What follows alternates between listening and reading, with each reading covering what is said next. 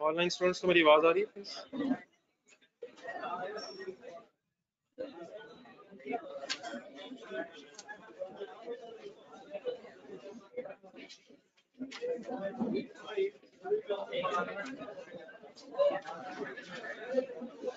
इससे front front side करते हैं।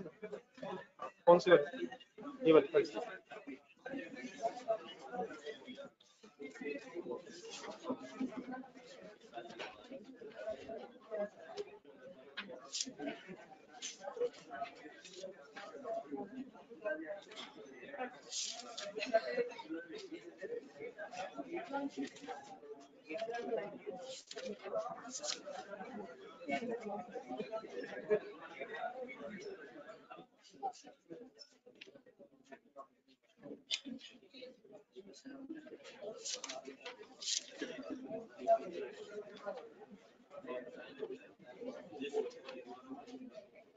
ये क्वेश्चन नंबर फोर का ट्रायल बैलेंस फाइनल करने को कहा था तो कल से रिलेटेड कंफ्यूजन अगर आया, एक बार रजिस्टर खोल के देखें कहाँ तक किया। किया भी है क्वेश्चन नंबर फोर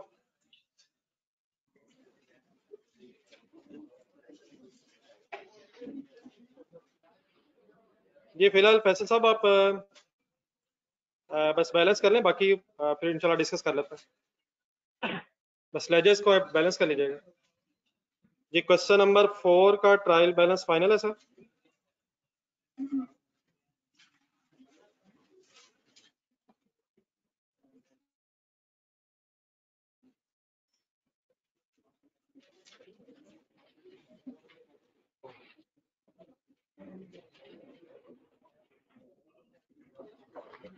कोई कंफ्यूजन तो नहीं सर लास्ट क्लास से कल से रिलेटेड तो सर जी बता दें यार। आगे चले फिर।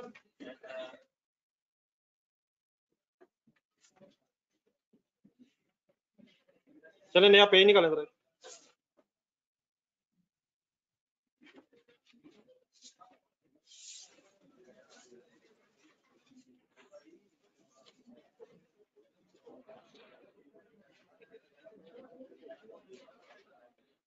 ठीक करवा लो रखो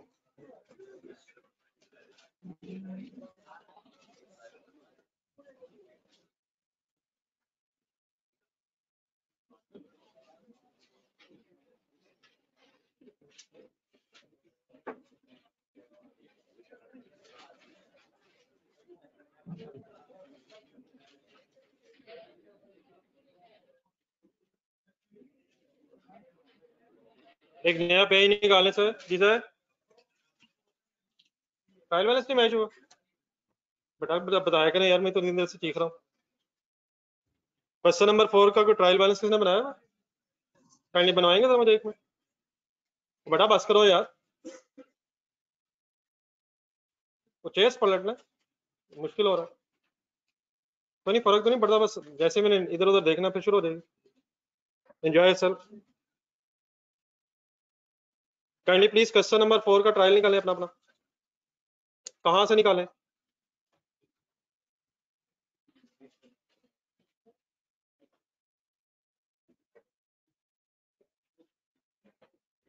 और बेटा साथ जाने दे यार। पीडीएफ में क्वेश्चन नंबर फोर था ही नहीं। और भाईजान, पुराने सवाल की बात हो रही है। बाकी सब कुछ क्लियर है, पढ़ाई के अलावा।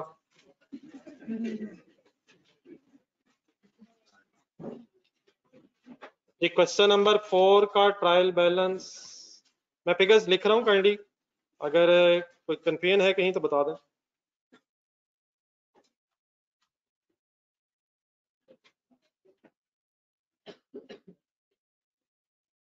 कैश का बैलेंस है three four two nine zero capital है one lakh thirty five thousand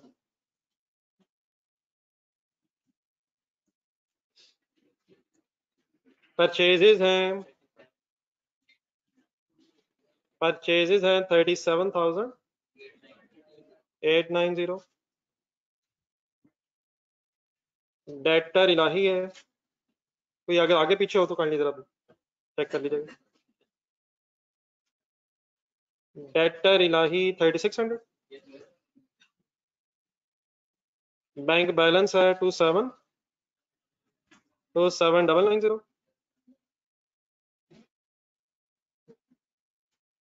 purchase returns है। One five three zero purchase returns का क्रेडिट बैलेंस क्यों है? क्या कम हो रही है सर? परचेज रिटर्न का मीनिंग वैसे क्या है? गुड्स बढ़ रही है, कम हो रही है? Sales double one eight double zero सही double one double eight zero debtor Masood two six one zero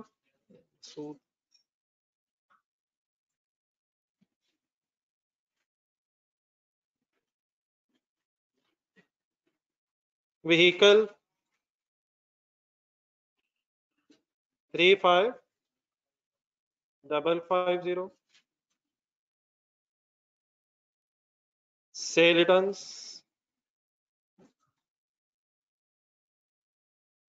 one two six zero sale returns debit column में क्यों है? सेल कम हो रही है। Motor expenses 1350 fixture 10800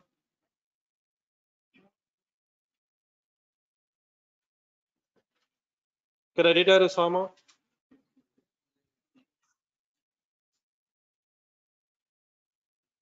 one zero?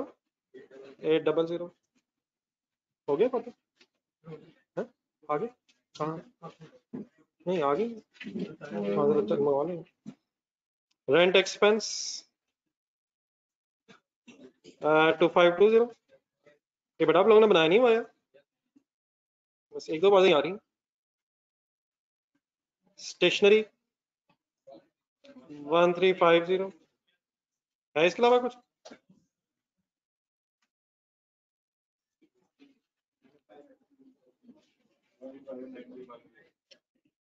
Check कर लें कहाँ मसला। किस जगह इशू जरा बता दें। क्या? अच्छा।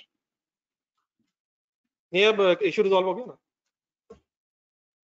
ये क्या और मसला तो नहीं क्वेश्चन नंबर फोर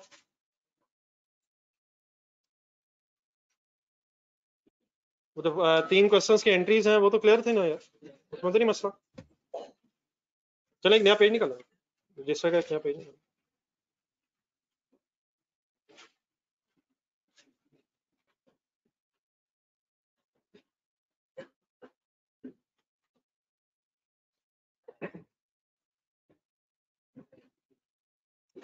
एक छोटा सिनेरियो आपके सामने बनाऊँगा, इसको काइंडली लिखते रहें, जरा साथ साथ एक्सप्लेन करता था लेट्स रिज्यूम विजुलाइज करें काइंडली कि आपका एक कार शोरूम है।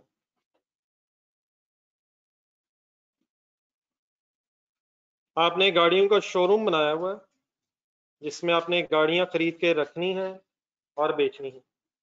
अभी इतफाक हुआ है देखने का? कार शोरूम जहन में देख लें, आपका अपना ही है। क्या खरीद के क्या बेचेंगे? सीरियस हो जाएगा प्लीज़ जो कार्स खरीद के आप सेल कर रहे होंगे कार्स क्या आपके लिए गुड्स होंगी? नहीं एसेट तो है ही। क्या इन्हें गुड्स कह सकते हैं?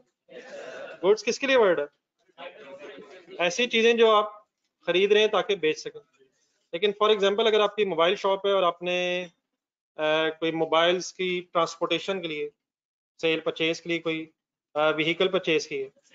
नहीं तो एसेट तो बेटा दोनों ही है। लेकिन गुड्स क्यों नहीं है? अगर कोई चीज़ इस्तेमाल के लिए ले रहे हैं तो फिर यकीनन वो भी एसेट है गुड्स भी एसेट है। लेकिन गुड्स के लिए किसके लिए वर्ड बस है? जो चीज़ें आप खरीद रहे हैं ताकि उसे बेच सकें। गाड़ियाँ अगर खरीद के बेच रहे हैं तो गुड्स हैं। अगर मोबाइल खरीद के बेच रहे हैं, लेकिन अगर मोबाइल इस्तेमाल के लिए लेना है तो गुड्स नहीं है। यकीन एसेट तो फिर भी वो है। एसेट तो है, लेकिन गुड्स का वर्ड कब किसके लिए इस्तेमाल होता? है ऐसी चीज़ें जो खरीदी हैं ताकि सेल कर सकें, बेच सकें। तो इस केस में कार्स आपकी क्या होंगी? गुड्स होंगी। फ़र्स्ट लाइन लिखा। लेट्स से हम आपने बिज़नेस स्टार्ट किया है फ़र्स्ट ईयर बिज़नेस से शुरू कर रहा हूँ। Business started on first January 2020 ये काइंडली साथ साथ लिखते जाइएगा। कार शोरूम है और स्टार्टिंग डेट है फ़र्स्ट जनवरी 2020 यकीन आप बहुत सी चीज़ें आपने अदरवाइज़ भी खरीदी होंगी, लेकिन डायरेक्टली आज जिसकी मैंने बात करनी है, उस तरफ़ आ जाता लेट्स से आपने इस फ़र्स्ट ईयर में purchase of 25,000 cars sorry purchase of 25 cars at the rate of fifteen lakh each.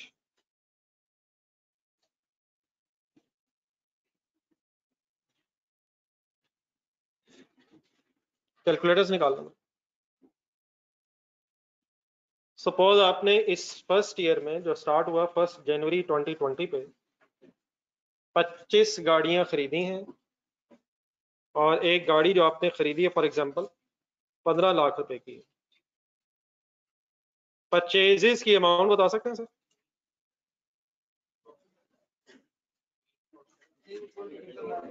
fifteen lakh multiplied by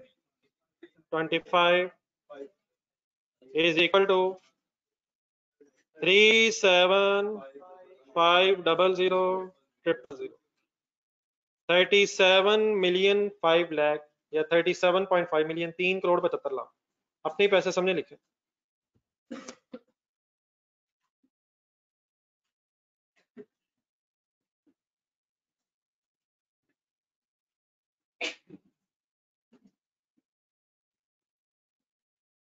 मैंने इसके साथ परचेजेस वर्ड लगा दिया एग्रीड है सारे? कार्स की परचेज हो गई सर गुड्स हैं देर फॉर परचेजेस है. फ़र्स्ट करें अगर ये कैश परचेज है. तो इसकी क्या अकाउंटिंग एंट्री करेंगे आप?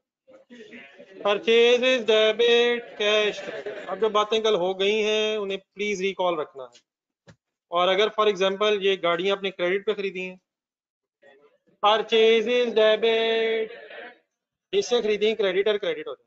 रिपीट करने का अगर कैश परचेज है परचेज डेबिट कैश क्रेडिट और अगर क्रेडिट परचेज है नेक्स्ट लाइन में आते हैं।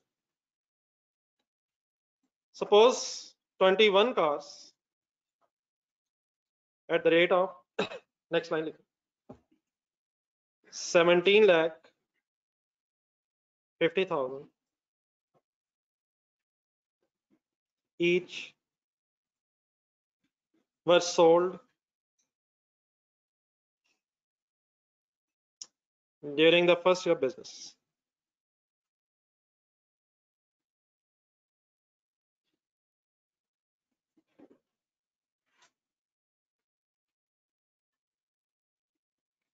21 cars at the rate of 17 lakh 50,000 each were sold during the first year of business.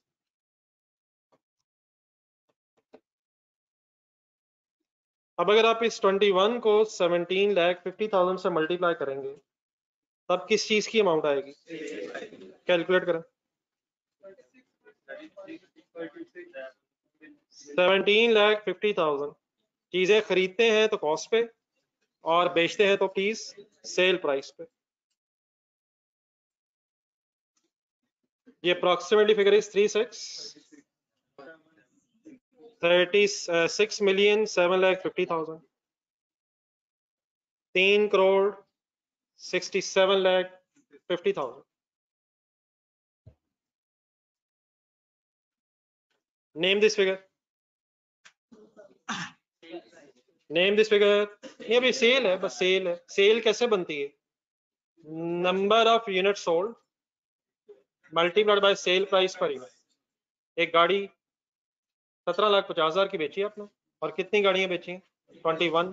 तो number of car sold multiplied by sale price per car is equal to sale amount is it income it is income अगर ये cash sale है for example आपने गाड़ियाँ बेची हैं और cash ले लिए तो क्या अकाउंटिंग एंट्री करेंगे? Cash debit sales credit sales sales फ़िलहाल कैश वो तो कॉस्ट पे करेंगे cash debit sale credit at sale price और अगर क्रेडिट सेल है? कैश की जगह डेटर डेबिट और सेल्स क्रेडिट सेल क्रेडिट क्यों? सेल बढ़ रही है। चीज़ें बेचने से सेल हो जाती है। पैसे मिल गए, अल्हम्दुलिल्लाह कैश डेबिट पैसे भी आ गए। और अगर अभी पैसे नहीं मिले तो फिर ये पैसे मिलना आपका राइट बन गया है। रिसीवेबल हो जाएगा। जिससे रिसीवेबल हो जाएगा डेटर हो जाएगा। रिपीट करने का कैश सेल में क्या करते हैं? कैश डेबिट सेल क्रेडिट और अगर क्रेडिट सेल हो तो? अब अगर आप इन्वॉल्वमेंट नहीं ना रखेंगे, और ये चॉइस समझेंगे, कोई एक बोल रहा है तो सबकी तरफ़ से हो गया तो वो तो मैं अकेला, मैं भी बोल रहा हूँ। सबका इंडिविजुअल एक एफर्ट होनी चाहिए, सबकी अपनी अपनी एफर्ट ये बोलने रिपीट करने से ही चीज़ें याद होंगी। मैंने आपको बोलते बोलते कुछ समझाया भी है शायद। इनकम बढ़ी है क्रेडिट हुई है। कैश मिल गया है तो कैश क्या चीज़ है? एसेट है डेबिट हो जाएगा। और अगर कैश नहीं मिला रिसीवेबल हो गया है। रिसीवेबल क्या चीज़ है? वो भी एसेट है तो डेटर डेबिट हो जाएगा। जी डियर अब ये दो फिगर्स जो आ गई हैं 37.5 मिलियन परचेजेस की और 36.75 मिलियन समझ आते हैं ये मेरे वर्ड जिस बोल रहा हूँ? मिलियन मिलियन मिलियन मैं फ़र्स्ट ईयर का इग्नोरिंग ऑल अदर थिंग्स जो इसमें सैलरी का खर्चा हुआ होगा बिल्स वगैरह आए होंगे, वो बाद में बात कर लेते हैं। मैं इन फिगर्स की बेस पे जरा ये चेक करना चाह रहा हूँ कि प्रॉफिट कितना हुआ है। जरा देखें फिगर्स सेल की अमाउंट कितनी है? Thirty six seven five zero और परचेजेस की अमाउंट कितनी है? अगर मैं प्रॉफिट निकालना चाह रहा हूँ आपने वर्किंग ऐसी शुरू कर दी, मैंने कहा था पहले देखें और अगर मैं प्रॉफिट कैलकुलेट करना चाह रहा हूँ तो क्या मैं सही कंपैरिजन भी कर रहा हूँ या नहीं कर रहा? परचेज कितनी गाड़ियाँ हुई थी? और सेल कितनी हुई है? क्या 21 गाड़ियों की सेल 25 गाड़ियों की परचेज कॉस्ट से कंपेयर होकर प्रॉफिट आना चाहिए? तो ये मेरा कंपैरिजन ही ठीक नहीं है, मेरा कंपैरिजन ही ठीक नहीं है। मुझे कैसे कंपेयर करना चाहिए? परचेज कितनी कार्स की थी? 25 वो तो 25 कार्स की कॉस्ट है। सेल हुई है 21 कार्स एक कार के एंगल से जरा डाटा देखें वन कार एक गाड़ी कितने की खरीदी थी आपने? बेची कितने की है? डिफरेंस ले लें कितना बनता? क्या ढाई लाख एक गाड़ी का बच रहा? है ढाई लाख एक गाड़ी से बच रहा है सर लेकिन अगर एज इट इज़ फिगर्स देखें 36.75 मिलियन और ऊपर 37.5 मिलियन ये तो वैसे ही लॉस बन रहा है। तो वो क्यों बन रहा है? क्योंकि हम कंपैरिजन ही ठीक नहीं कर रहे। मुझे क्या कंपेयर करना चाहिए? 21 गाड़ियों की सेल को 21 गाड़ियों ही की कॉस्ट से कंपेयर करना चाहिए। तो यहाँ से ये पता चला कंसंट्रेशन जरा प्लीज़ बट आप दोनों बाहर जाएँगे यार क्लास से। बल्कि मेरा हाल चले जाए आज। जो भाई गिर गया था हँसते हँसते उठ जाए जरा। नहीं माजरत है आप जरा इस वक्त मासूम बन गया उठ जाए काइंडली पता चल रहा है आपको कह रहा हूँ। और साथ वाले को उठा ले साहब। उठ जाए उठ जाए, दोनों को पता। तो दोनों जो एक दूसरे को देख रहे हैं। माजरत है जरा आज क्लास के बाहर ही चले जाए। ऐसे बाज नहीं आ रहे आप। आप भी भाई, जिसने उस बेचारे को बाहर भिजवाया। उठा लें साथ। जो देख रहे हो, आपको कह रहा हूँ। हाँ जी। मैं, मैंने कुछ किया यकीन माना पिछले छः दिन से यकीन मैंने हंसा रहा हूँ मैं आपको। उठ जाए उठ जाए मेरा भाई। चले मेरा ख्याल है आज जरा बुरा लग रहा है। इस तरफ़ आ जाए या तो क्लास में लदा लदा बैठा करें, या फिर अनफॉर्चुनेटली कल वो हो जाना जो मैंने कहा और इस वक्त दुनिया के मासूम तरीन इंसान आप हैं। और इसी तरह क्लास में बैठा करें। आप वाकई मासूम तकरीबन गिरने वाला हो गया था। हँसते हँसते। यहाँ से पता ही चला है कांडी सॉरी वापस आ कि अगर हमें प्रॉफिट कैलकुलेट करना है तो कभी भी सेल को परचेज से कंपेयर नहीं करना चाहिए। किसको किससे कंपेयर करना चाहिए? नहीं करना चाहिए। कभी भी नहीं करना चाहिए। क्योंकि हो सकता है कि आपने आइटम्स ज़्यादा खरीदी हो या और बेची कम। आपने अगर प्रॉफिट फाइंड आउट करना है तो आपको करना ये चाहिए कि जो चीज़ें बेच रहे हैं, उन्हीं की कॉस्ट से कंपेयर करना चाहिए। तो जो चीज़ें बेची हैं, उनकी कॉस्ट के लिए एक वर्ड लिख रहा हूँ, परेशान हुए बगैर लिख के में और सोचें भी क्या वर्ड्स बोल रहा हूँ। अगली लाइन में लिखें। एक लफ्ज इस्तेमाल होता है कॉस्ट ऑफ़ सेल इसके एक सिंपल ट्रांसलेशन आप लोगों से रिक्वायर्ड होगा लिखें लिखें लिखें लिखें और सोचें। कॉस्ट ऑफ़ सेल क्या मतलब होगा इस लफ्ज का? सेल की कॉस्ट और थोड़ा सा अगर और एक्सप्लेन करने जो चीज़ें बेची हैं, उनकी कॉस्ट सिर्फ़ सेल से मुराद क्या होती है? सिर्फ़ सेल ठीक है? लेकिन सिर्फ़ सेल मीन्स जो चीज़ें बेची हैं उनकी सेल प्राइस।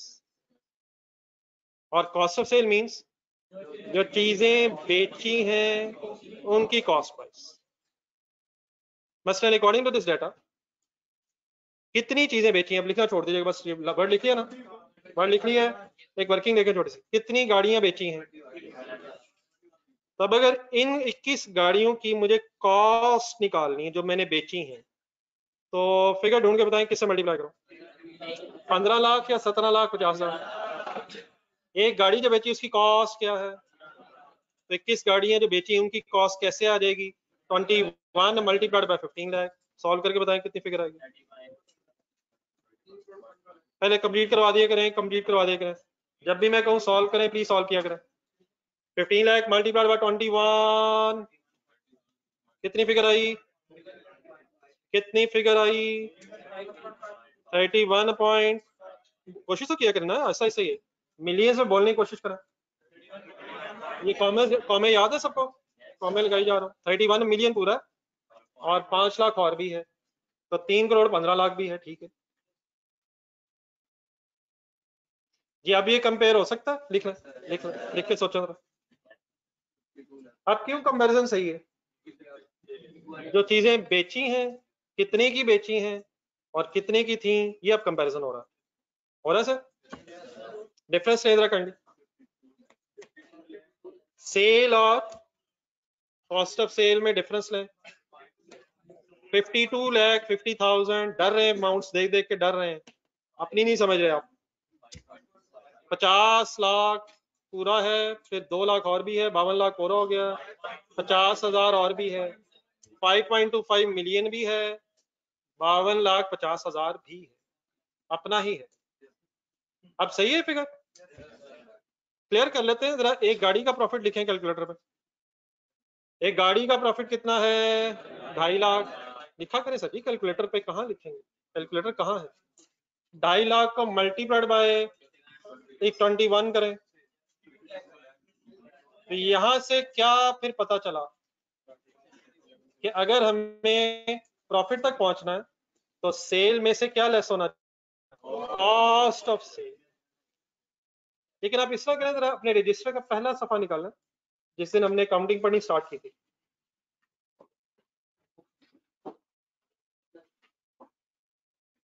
शायद ये वर्ड मैंने कुछ वहाँ भी लिखवाया होना चाहिए। नहीं, उस, नहीं, उससे पीछे, पहला सफ़ा पहला सफ़ा पॉइंट नंबर सात होगा शायद।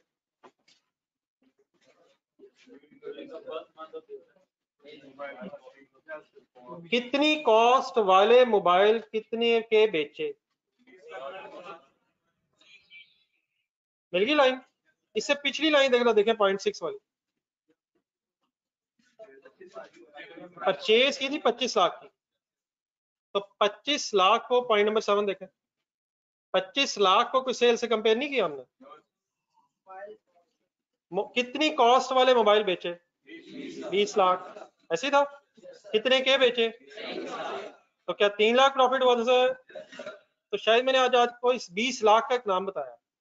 दोबारा बीस लाख और से देखें। तेईस लाख का शायद नाम आपने लिखा होगा कहीं कोई सेल प्राइस शायद लिखा होगा। तो तेईस लाख है सेल बीस लाख क्या है? कॉस्ट ऑफ़ सेल पिछले पेज पॉइंट पर जाए पॉइंट नंबर सिक्स पे पच्चीस लाख क्या है? ये परचेजेस है परचेजेस है। लेकिन परचेजेस और सेल्स का डिफरेंस प्रॉफिट नहीं है। किस किस का डिफरेंस प्रॉफिट है? Sale and cost of sale वापिस आ जाए तो होपफुली मैंने कोई नई बात नहीं की है। आपके सामने शायद एक नया लफ्स लिखा है। What is the meaning sale meaning meaning income है, लेकिन किसकी सेल प्राइस जो चीज़ें बेची हैं, उनकी सेल प्राइस और कॉस्ट ऑफ़ सेल पूरा बोलने की कोशिश करें। जो चीज़ें बेची हैं, उनकी कॉस्ट और उनका डिफरेंस फिर प्रॉफिट कैलकुलेट हो जाएगा। आ जाएगी लाइन में। प्रॉफिट लिखना जरा।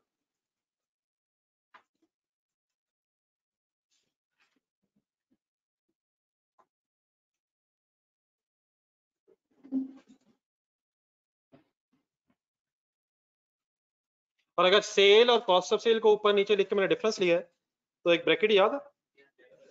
ब्रैकेट याद है सर कहाँ लगाऊँ? कॉस्ट ऑफ़ सेल नीचे वाली। तो प्रॉफिट को लगा दो। सर इसका नाम है यार नीचे ब्रैकेट किसको लगा देते हैं? जिसको माइनस करना हो, जिसको माइनस करना हो। से लेस कॉस्ट ऑफ़ सेल ठीक हो गया यहाँ तक? एनी कंफ्यूजन एक नज़र देख लें जो हुई बात अभी। ऊपर से देखें जल्दी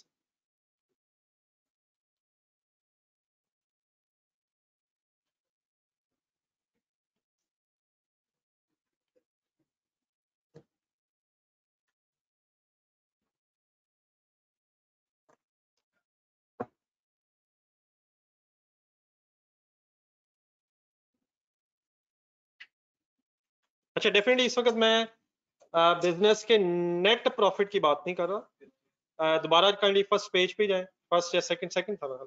वहाँ हमने एक प्रॉफिट की, बल्कि फ़र्स्ट में शायद नज़र आ जाए। पॉइंट नंबर एट भी ढूंढे। क्या कोई और खर्चे भी हो जाते हैं? तो वो यकीन वो भी लेस होना है, फिर फाइनल प्रॉफिट आएगा। मैंने अभी सिर्फ़ किस एंगल से बात की है कि जो चीज़ें थी उनकी कॉस्ट क्या है जिन्हें बेचा? और जो चीज़ें बेची हैं, वो कितने की बेची हैं? तो उनका डिफरेंस प्रॉफिट का कितना आ गया बाकी अगर हम बिज़नेस के फाइनल प्रॉफिट तक आना चाहें तो फिर वो सैलरी एक्सपेंसेस यूटिलिटी एक्सपेंसेस उनकी भी इंशाल्लाह बाद में बात करेंगे। तो सिर्फ़ मेरा फोकस ये है कि कॉस्ट ऑफ़ सेल्स की अमाउंट जो है, ये कैसे कैलकुलेट होती है, ये जरा आज आपसे जरा डिटेल में डिस्कस हो रहा है। आ जाए वापस कंफ्यूजन तो नहीं अब रहेगी चलो। नेक्स्ट लाइन में लिखें another way of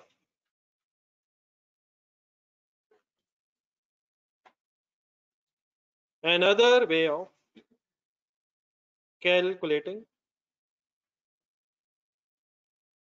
cost of sales if bracket में लिखना if data of units is not an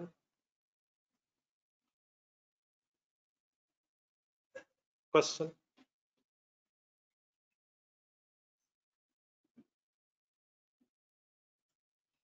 another way of calculating cost of sales if data of units is not in question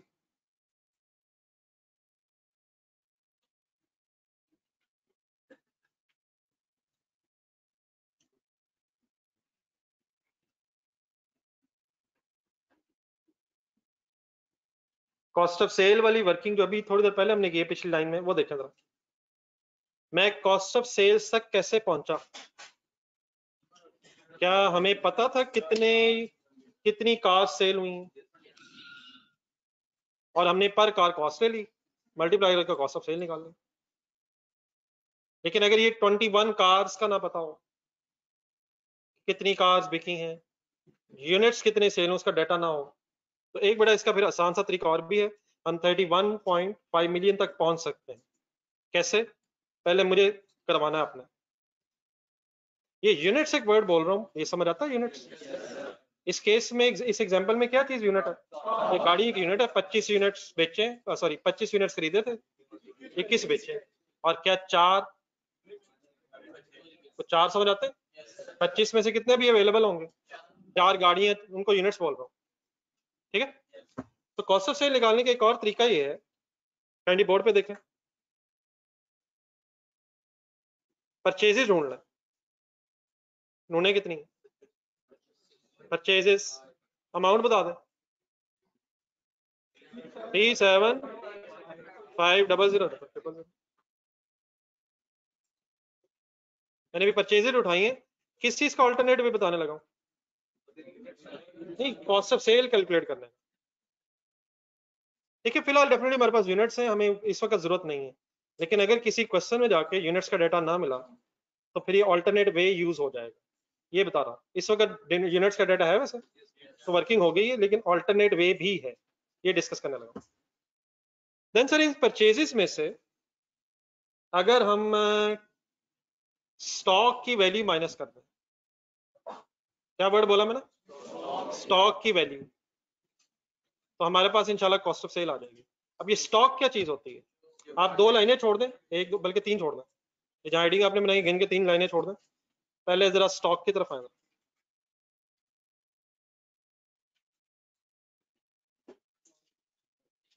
और फ़िलहाल जरा stock के साथ एक और लफ्स लगा लें। क्लोजिंग स्टॉक तीन लाइनें छोड़ के एक वर्ड लिखें क्लोजिंग स्टॉक और उसका एक मीनिंग लिखें। Closing stock means?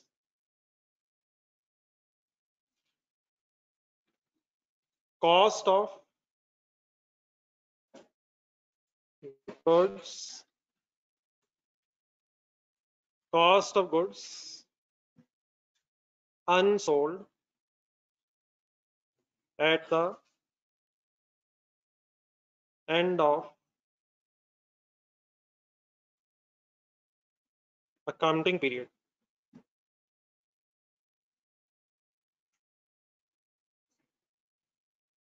Cost of goods unsold at the end of accounting period. Accounting period को जरा अंडरलाइन करना और इसको भी जरा एक्सप्लेन करना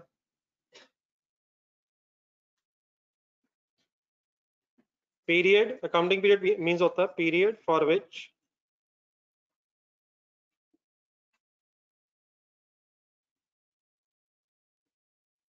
profit is calculated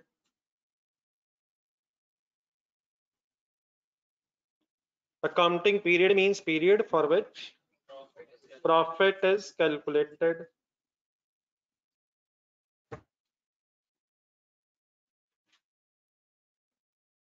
एक सेंटेंस थोड़ा सा और लिख लें। इसके नेक्स्ट लाइन में लिख लें। Normally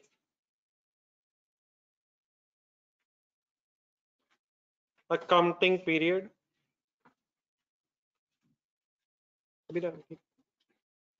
normally accounting period is of 12 months. जब भी कभी नई चीज़ आ जाए, ऐसे परेशान नहीं होना। बिल्कुल रिलैक्स रहना है। पहले लिख लें, फिर इंशाल्लाह एक्सप्लेन करता हूँ। नॉर्मली आपके लेवल पे accounting period is of 12 months 12 months means एक एक साल की बात कर रहा हूँ। एक साल में कितने महीने होते हैं? तो 12 months means one year accounting period of is of 12 months या वन ईयर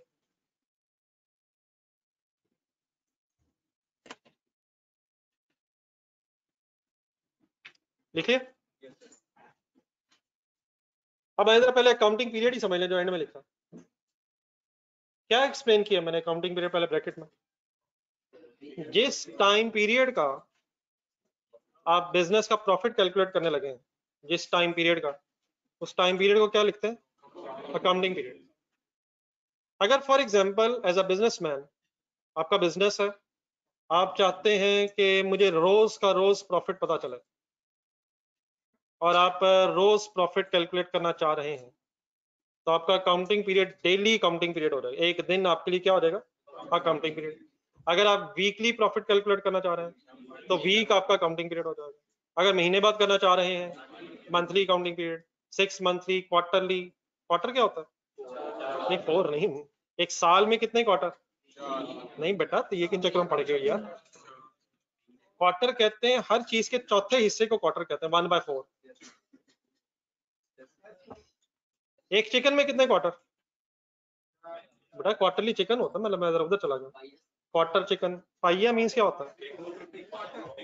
बेटा वन फिफ्टी ग्राम रहने दो। सर जी वन फोर्थ होता है। पहले तो ये क्लियर करें क्वार्टर मीन्स चौथा हिस्सा। हर चीज़ में कितने क्वार्टर तीन। तीन। वो क्वार्टर कहते किसे? चौथे हिस्से को क्वार्टर कहते हैं बेटा वन फोर्थ को क्वार्टर कहते हैं। हाफ़ क्या होता है? One by two quarter one by four यार, यकीन मान। हर चीज़, किसी भी चीज़ में चौथा हिस्सा क्वार्टर होगा। यार, ये काउंटिंग का सवाल नहीं मेरे भाइयों। अब एक साल में कितने महीने होते हैं? बारह। एक साल में कितने क्वार्टर होंगे? बेटा क्वार्टर चार ही होंगे। हाँ हर क्वार्टर में तीन महीने होंगे। बारह लिखें कैलकुलेटर उधर बारह महीने।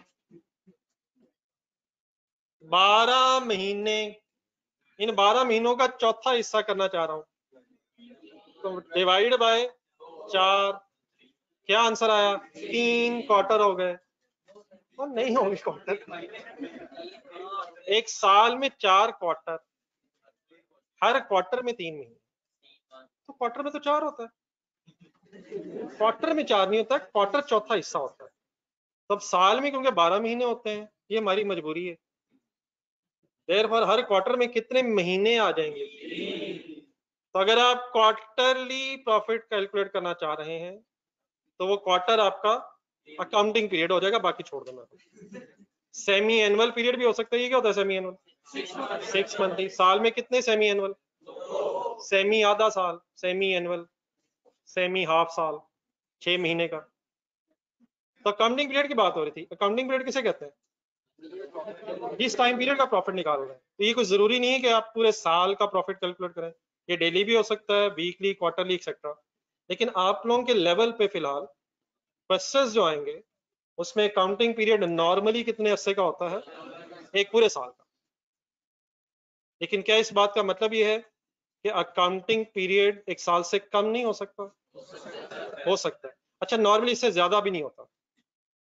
मिनिमम कोई भी बिजनेसमैन अगर है तो साल बाद कम अज कम ज़रूर इंटरेस्टेड होता है कि उसे पता चल जाए कि इस साल प्रॉफिट हो रहा है या लॉस हो रहा है। तो आपके लेवल पे काइंडली नॉर्मली कितने मंथ्स का पीरियड कितने मंथ्स का पीरियड अकाउंटिंग पीरियड होता है? ट्वेल्व मंथ इसलिए कभी कभी वर्ड अकाउंटिंग ईयर भी बोला जा सकता है। ईयर में कितने महीने? ठीक है? अब जरा क्लोजिंग स्टॉक पढ़े क्या लिखा मैंने? किसी भी अकाउंटिंग पीरियड के एंड पे जो चीज़ें अनसोल्ड बच जाएँगी, किसी भी अकाउंटिंग पीरियड के एंड पे जो चीज़ें अनसोल्ड पड़ी रह जाएँगी, उनकी कॉस्ट को क्या बोलते हैं? क्लोजिंग स्टॉक बोलते हैं। क्लोजिंग से मुराद पीरियड के एंड पे पीरियड के एंड पे। इसी तरह अगर मैं बोलूँ लफ्स ओपनिंग स्टॉक पीरियड के स्टार्ट पे। फ़र्ज़ करें आपका पीरियड जो है, वो सिक्स मंथली है। तो छह महीनों के एंड पे जो स्टॉक पड़ा होगा, वो क्या होगा? क्लोजिंग स्टॉक और उन छह महीनों के शुरू में ओपनिंग स्टॉक अगर एक महीने की वर्किंग कर रहे हैं आप मंथ के एंड पे जो स्टॉक है, वो क्या कहलाएगा? और मंथ के स्टार्ट पे। अब आप जिस एग्जांपल की हम बात करें, इसके स्टार्ट में याद रहो ये बिज़नेस कब स्टार्ट हुआ था? फ़र्स्ट जनवरी 2020 पे हमने स्टार्ट किया था। इसका फ़र्स्ट इसका फ़र्स्ट अकाउंटिंग ईयर अगर 12 महीनों का है तो बताएँ कब एंड होगा? अगर फ़र्स्ट जनवरी 2020 पे हमारा अकाउंटिंग ईयर स्टार्ट हुआ है, और सपोज़ हम इंटरेस्टेड हैं कि पूरे साल की वर्किंग करें तो हमारा फ़र्स्ट अकाउंटिंग ईयर किस डेट पे एंड हो जाएगा? थर्टी फ़र्स्ट दिसंबर 2020 पे एंड हो जाएगा। ऐसे ही सर किस डेट पे स्टार्ट होगा, किस डेट पे एंड हो जाएगा?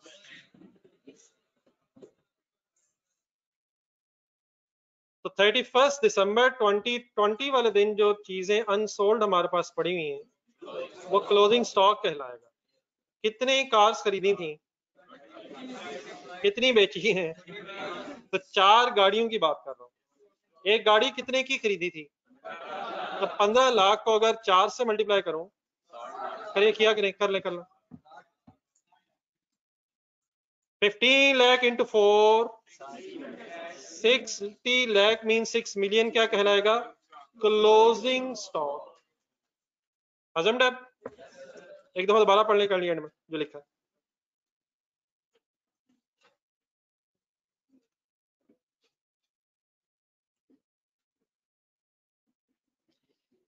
किन चीज़ों को क्लोजिंग स्टॉक कहते हैं?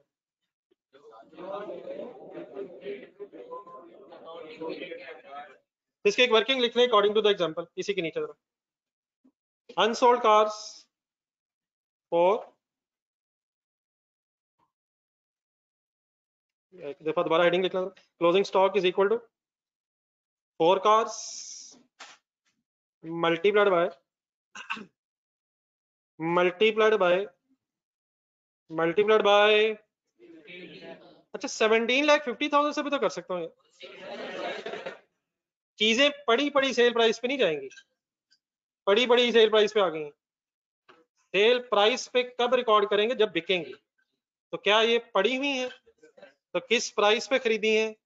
उसी प्राइस पे पड़ी है। जब तक बेचेंगे नहीं सेल प्राइस पे आप वर्किंग नहीं करेंगे। तो cost of closing stock is equal to sixty lakh six million sir होने दे सर इंशाल्लाह, अभी करने लगे सर चार सौ दे। और अगर दूसरे मॉडल की भी ले लें और अगर उसमें से भी बच जाए। है तेरी मेहरबानी भी करके देखते हैं। ये थोड़ा सा मेरे आगे चलने ना फिर मैं पूछूँगा, आप कुछ रह तो नहीं गए? फिर इंशाल्लाह मैंने पूछा तो टेंशन ना ले। मैं सब नोट कर रहा हूँ यहाँ क्या हो रहा है। अगर ये हो जाए, वो हो जाए तो इंशाल्लाह जब वो हो जाना ना, फिर मैं पूछना, अभी वो तो नहीं हो गया। सर जी ऐसा ऐसा चले ना यार, क्या होगा क्या गाड़ियों के शोरूम में कोई एक तरह की गाड़ियाँ खड़ी होती हैं? बहुत सी गाड़ियाँ हो सकती हैं। कभी एक मासूम सा शोरूम। जी सर जी बात अब मैं क्या करने लगा था? ये नोट कर लिया हमारी हेडिंग बनी हुई थी कि हम कह रहे रहे थे कि कॉस्ट ऑफ़ सेल्स एक और तरीके से भी कैलकुलेट हो जाती है। तो वो तरीका मैंने स्टार्ट कहाँ से लिया? परचेजेस मैंने लिखी। अब इस परचेज की फिगर में से अगर मैं क्लोजिंग स्टॉक की फिगर माइनस कर दूँ, बताएँ क्लोजिंग स्टॉक कितना? तो कैलकुलेटर पकड़ कर बेटा, किया करें किया करें, ये कॉन्सेप्ट क्लियर करें कर अपने। ये लिख लेना, कोई इशू नहीं है। देख के ज़ीरो लगा लिए। एक लगाया, फिर देखा, एक और लगाया, फिर एक और लगाया, चार दफ़ा सर उठाया, गर्दन थक गई किसमें से क्या माइनस की है मैंने? तो आपके पास क्या कैलकुलेट हो गया है? क्या कॉस्ट ऑफ़ सेल्स की वही अमाउंट आ गई है सर सर आ गई है सर तो अगर यूनिट्स का डेटा ना हो तो सिंपली क्या ढूंढ के क्या माइनस किया जा सकता है? अब लिख लें। जी सर नहीं बेटा अब यहाँ तो डाटा है, मेरे भाई, मैं कह रहा हूँ, यहाँ तो डाटा है। लेकिन अगर फ़र्ज़ करें, किसी सवाल में आपको परचेजेस दी हो 37.5 मिलियन और वो खुद ही बता दे कि क्लोजिंग स्टॉक ये है। तो डेफिनेटली अगर तो हमें कैलकुलेट करना, फिर नहीं हो सकेगा। लेकिन अगर वो परचेज और क्लोजिंग स्टॉक की फिगर बता दे तो क्या कॉस्ट ऑफ़ सेल ऐसे भी आ जाती है? मैंने अभी आपसे रिक्वेस्ट की कि इस वक्त डाटा हमारे पास है। हम कर सकते हैं। लेकिन अगर वो ये फिगर्स कैलकुलेट करवाने की बजाय वैसे ही अवेलेबल कर दे परचेजेस भी बता दे क्लोजिंग स्टॉक भी बता दे तो क्या हमें यकीन आ गया है कि इनको आपस में माइनस करके भी वही आंसर आ जाएगा? बस ये मैंने आपके सामने डिस्कस किया। इस केस में तो हमें ज़रूरत ही नहीं है इस वर्किंग की। क्या ये आंसर पहले नहीं आ गया? इट इज़ टाइम वेस्टिंग लेकिन ये मैंने किन दिनों के लिए बताया आपको? जहाँ अगर डायरेक्टली फिगर्स हो और यूनिट्स ना हो तो क्या फॉर्मूला थोड़ा सा जेन में सेट हो जाएगा? Purchases minus closing stock is equal to cost of sales और फिर सेल्स में इसको लेस करके प्रॉफिट तक भी आया जा सकता है। ये करनी अगर लिख लेंगे तो बताना जरा। ये ऑनलाइन स्टूडेंट्स भी कर लें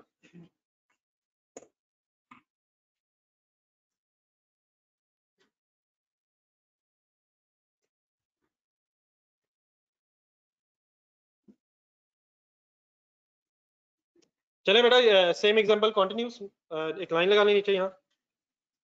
और हेडिंग लिखें second year business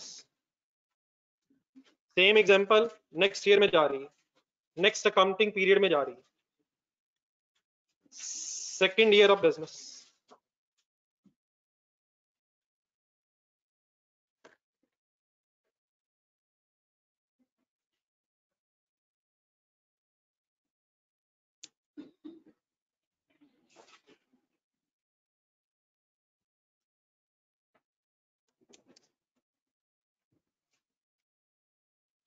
तो सही तरह सही करो यार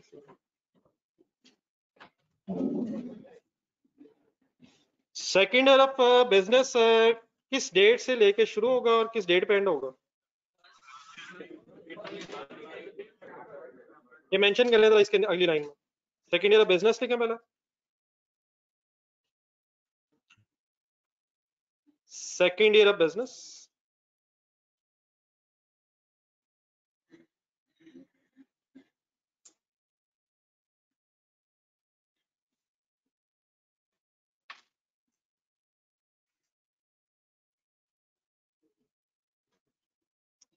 starting date क्या बनेगी? फ़र्स्ट जनवरी 2021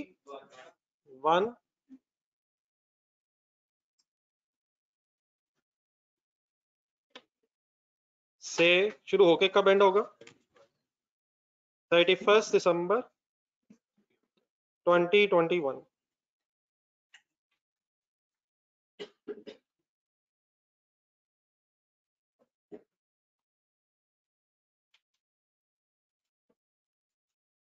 same business next year start हो रहा है।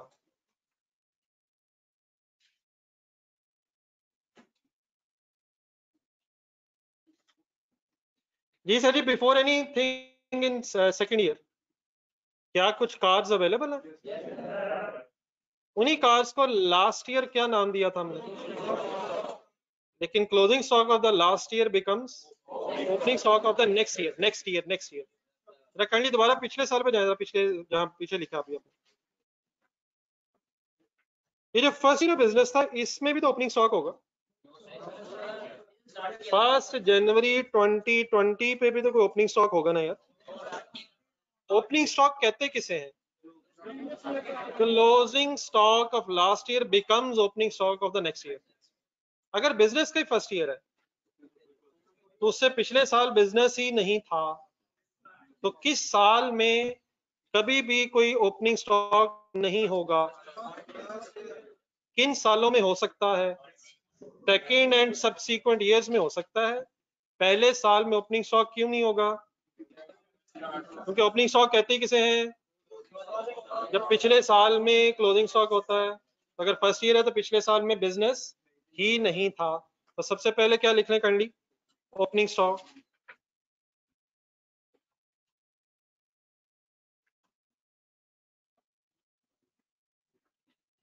कितनी कार्स ओपनिंग स्टॉक पंद्रह lakh into four any confusion in these terms? Means कोई सही तरह चेक कर कभी कोई और नहीं भी देखते रहो इसको भी जरा सही तरह देख लो। जी any confusion in these words? Closing stock opening stock. हजम है नेक्स्ट लाइन लिखे चलो। परचेज ऑफ़ अब सेकेंड ईयर में कुछ हुआ? क्या क्या बोलना डाटा लिखना? Purchase of suppose thirty cars at the rate of अभी प्राइसेस आज चेंज नहीं करें प्राइसेस करंटली सेम रखें। ये भी चल जाएगा, लेकिन फिर purchase of thirty cars at the rate of fifteen lakh each क्या पर प्राइसेस भी चेंज हो जाती हैं? क्या सेल प्राइसेस भी बदल जाती हैं? इंशाल्लाह सब कुछ बदलेगा, लेकिन जो बात अभी होने लगी उसको पहले इसी तरह जरा फाइनल करना कैलकुलेटर उठाए परचेजेस की अमाउंट बताए।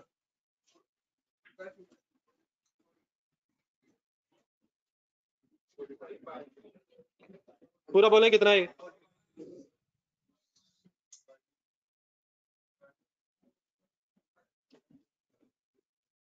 Forty five million done forty five million ही है यार। सही है? अगर ये क्रेडिट परचेज है तो इसकी काउंटिंग एंट्री बोला। हिम्मत हिम्मत हिम्मत भाईजान। सर जी अभी ऐसा सर टिप्स पे लानी है चीज़ें। अगर ये कैश परचेज है तो एंट्री वाला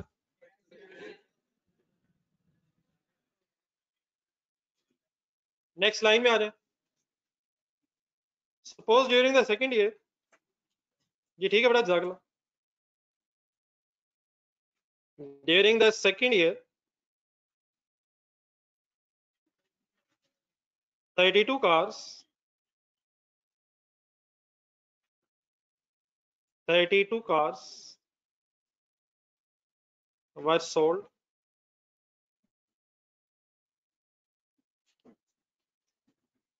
at the rate of 7 lakh 50,000 each prices same रख रहा हूँ जान के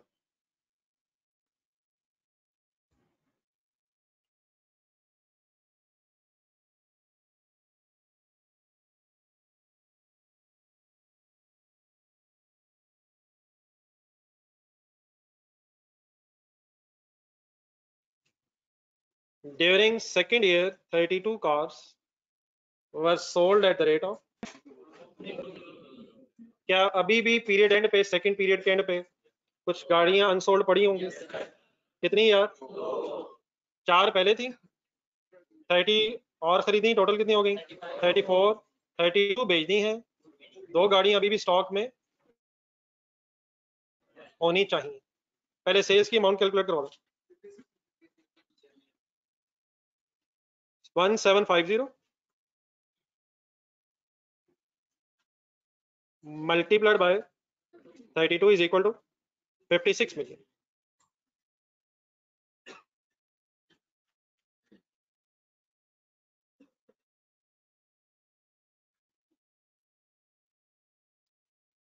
जी परचेजेस ढूंढे परचेजेस ढूंढे और सेल्स ढूंढे प्रॉफिट कैलकुलेट करवा दें। 45 मिलियन की परचेजेस हैं 56 मिलियन की सेल्स हैं। डिफरेंस प्रॉफिट कैलकुलेट करवा दें। छप्पन माइनस पैंतालीस, ग्यारह मिलियन आ गया। और सर आ गया कैलकुलेटर पकड़ लें। सर, जबानी भी आ जाता है। कैलकुलेटर पे आ गया सर इलेवन मिलियन प्रॉब्लम क्या है? प्रॉब्लम सही बताइएगा। कंपैरिजन ही क्यों सही नहीं? है क्यों सही नहीं? है बाईस गाड़ियाँ बेची हैं, तीस गाड़ियों की कॉस्ट से कंपेयर कर रहे हैं। क्या करना चाहिए मुझे? क्या करना चाहिए, क्या करना चाहिए? कॉस्ट ऑफ़ सेल्स की वर्किंग करनी चाहिए मुझे। कॉस्ट ऑफ़ सेल्स का मीनिंग क्या होता है? कॉस्ट ऑफ़ सेल्स का मीनिंग मीनिंग मीनिंग जो गाड़ियाँ बेची हैं, उनकी कॉस्ट चाहिए। कितनी गाड़ियाँ बेच दी हैं? एक गाड़ी की कॉस्ट क्या है? तो सेल में से परचेजेस बेटा लेस करके आप प्रॉफिट नहीं निकाल सकते। आपको क्या करना पड़ेगा? Sale minus cost of sale amount बताए। 48 million.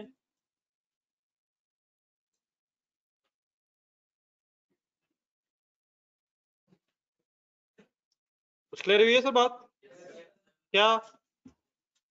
Profit is the difference between sale and cost of sale ये वाइंड अप कर करने क्या प्रॉफिट बनता? Eight million.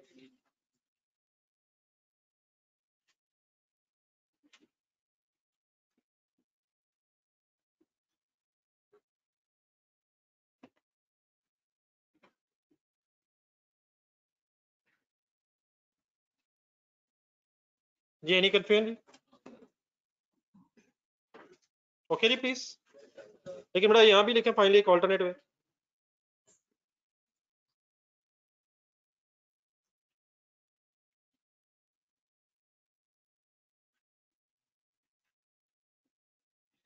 alternate way of calculating cost of sales.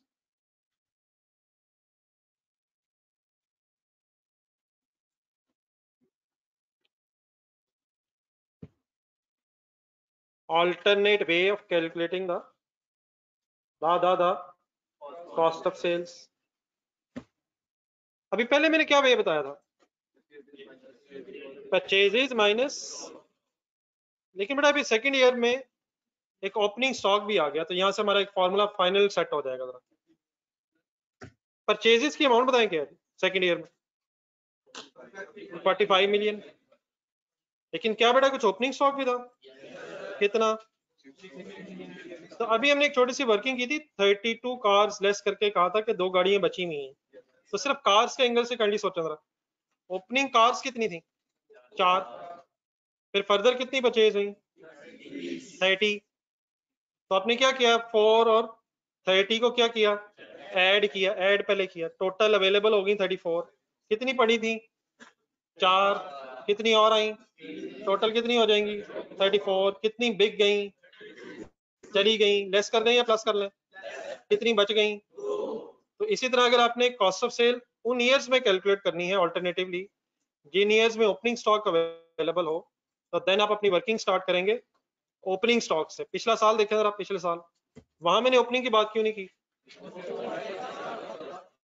तो अगर सेकंड या सब्सिक्वेंट ईयर हो तो अल्टरनेटिवली वर्किंग कैसे स्टार्ट हुआ करेगी? करें मेरे साथ ही शुरू।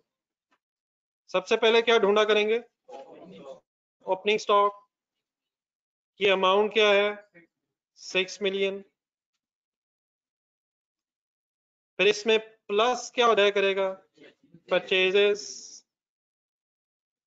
कितनी अमाउंट की परचेज हुई इस केस में? जी? 45 मिलियन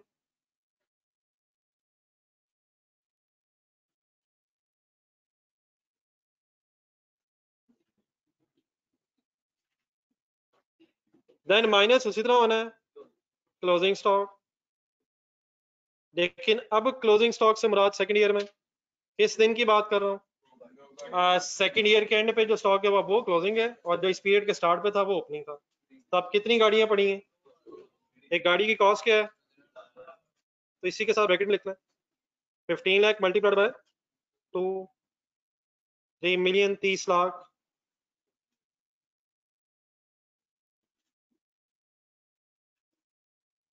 सॉल्व करके देखें तो डेफिनेटली इस वक्त जो डाटा मैं यूज़ कर रहा हूँ, इसमें मैं यूनिट्स की इंफॉर्मेशन दे रहा हूँ आपको। लेकिन अगर यूनिट्स की इंफॉर्मेशन ना हो एग्जामिनर आपको ओपनिंग स्टॉक बता दे अमाउंट बता दे परचेजेस की अमाउंट बता दे, और क्लोजिंग स्टॉक की अमाउंट भी बता दे तो हम क्या प्लस करके, क्या माइनस करके कॉस्ट ऑफ़ सेल तक आ जाएँगे? बोल दे बोल दे फाइनल बोल दे।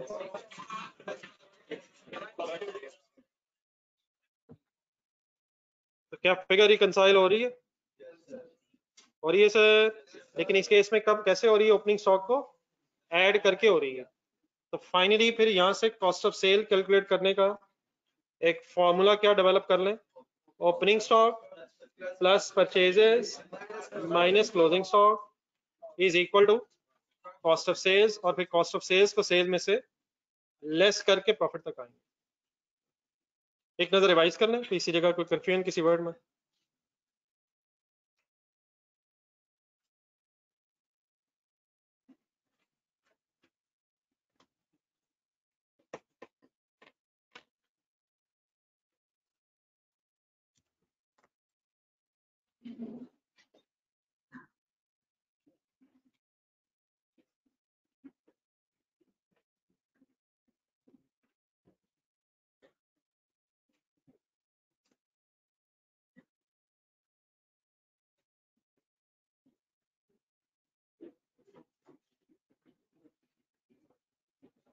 जी ऑनलाइन स्टूडेंट्स के क्लियर है जी? कोई कंफ्यूजन किसी की?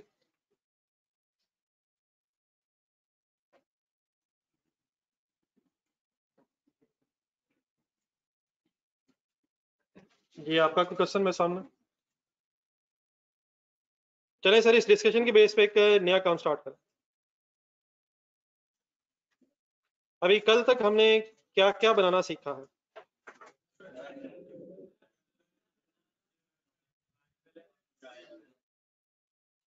तो दोबारा उसी सीक्वेंस से शुरू कर ले first line next page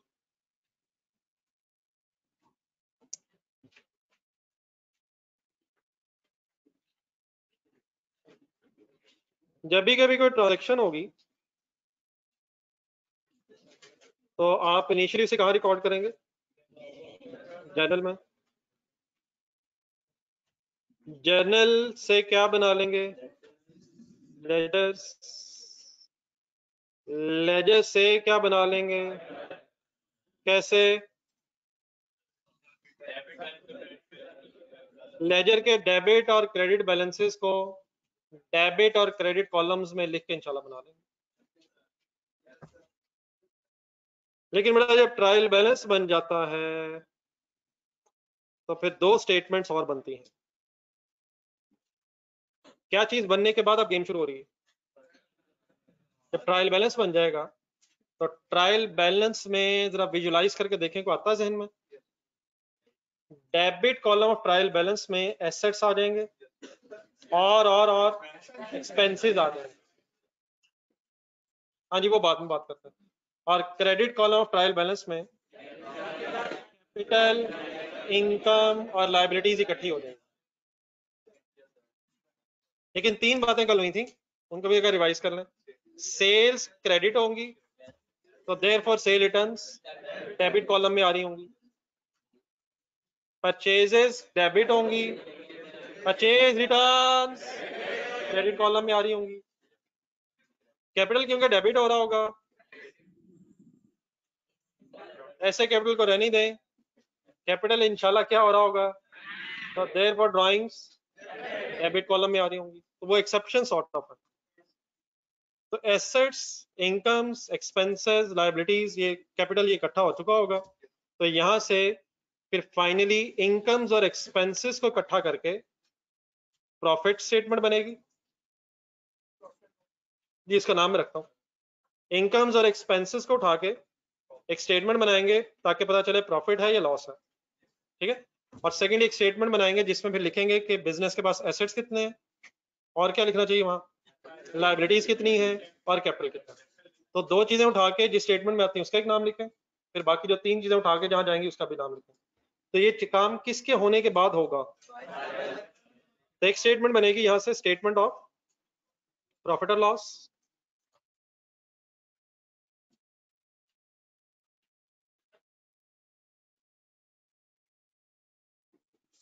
I hope के कॉस्ट वाले हजरात की कुछ टेंशंस कुछ ना कुछ मिनिमाइज हो रही हैं। तो होपफुली अब आपका जिस तरह का गुस्से वाला चेहरा कॉस्ट की क्लास में होता था होपफुली कुछ कम हो जाएगा। और दूसरी एक स्टेटमेंट बनेगी and statement of financial position statement of financial statement of financial position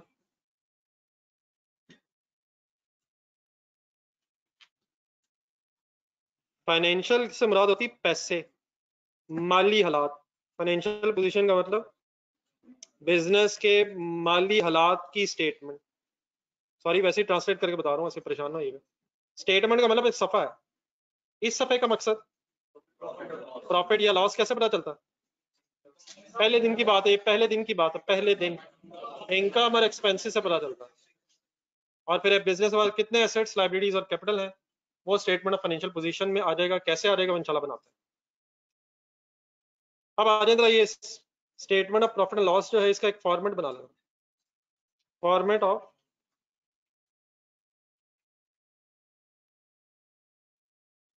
statement of profit और loss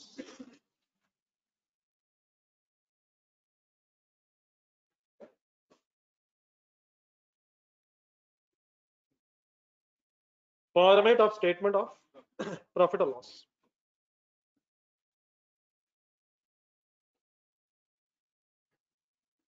इसमें प्रिंसिपली स्पीकिंग कौन सी दो चीज़ें आनी है जी? बार बार बोल रहा हूँ। नहीं प्रॉफिट लॉस नहीं आना। प्रॉफिट एंड लॉस कैसे आना? इनकम और एक्सपेंसेस लेते बाकी तो प्रॉफिट लॉस कैलकुलेटर पे आना। कैसे प्रॉफिट आ जाएगा? या कब प्रॉफिट आ जाएगा, कब लॉस आ जाएगा? इनकम ज़्यादा होगी तो प्रॉफिट एक्सपेंसेस ज़्यादा होंगे तो लॉस क्या आएगा, क्या क्या आएगा तो इनशाला वो तो खुद ही आ जाएगा। इनकम्स और एक्सपेंसेस लेकिन अभी आपके जो इनिशियल लेवल पे सिलेबस में जो चीज़ें हैं, उनमें, उन्हीं बिजनेसेस की एग्जांपल आएगी जो चीज़ें बेच के इनकम कमाते हैं। वरना मैंने शायद आपको आइडिया दिया था कि कोई कॉलेज भी हो सकता है। इसकी बिज़नेस इसकी इनकम किस फॉर्म की होगी? फ़ीस इनकम ठीक है? तो सर्विसेज़ बिज़नेस भी होते हैं। फ़िलहाल जिन बिजनेसेस के एंगल से मैं बात करूँगा आपके लिए, वो बिजनेसेस चीज़ें बेच के पैसे कमा रहे होंगे। इसलिए सबसे पहली हेडिंग आपके लेवल पे भी आएगी सेल लिखें जी सेल क्या चीज़ है जी सेल सेल तो एसेट है यार।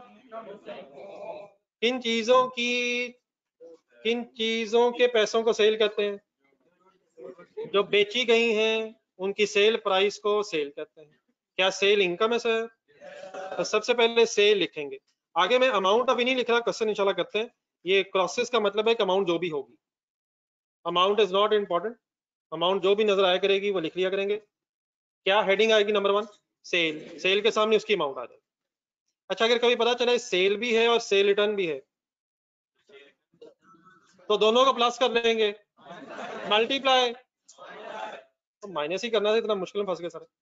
अगर सेल भी होगी और रिटर्न भी होगी तो क्या कर लेंगे? एक ब्रैकेट खोल लेंगे सॉर्ट ऑफ़ सेल के सामने एक ब्रैकेट खोल लेंगे।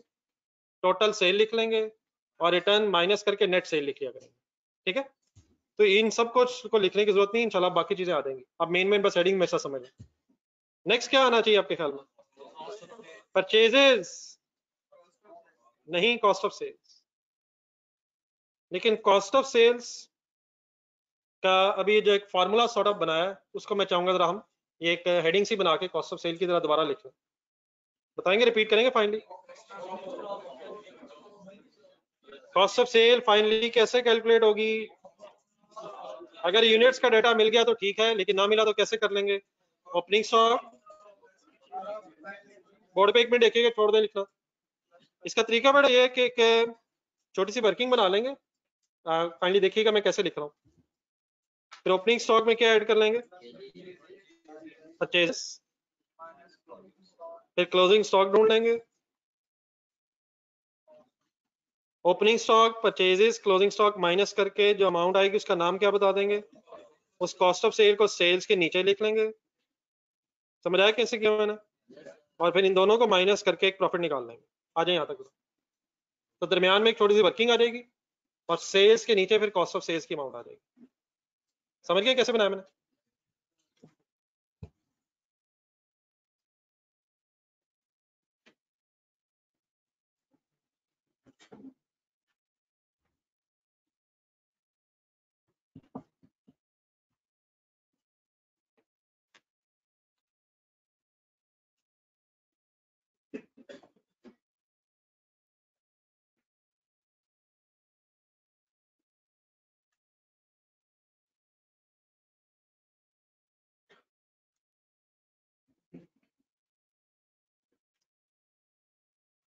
जी सेल में से कॉस्ट ऑफ़ सेल अगर लेस करें तो क्या नाम दिया मैंने अभी?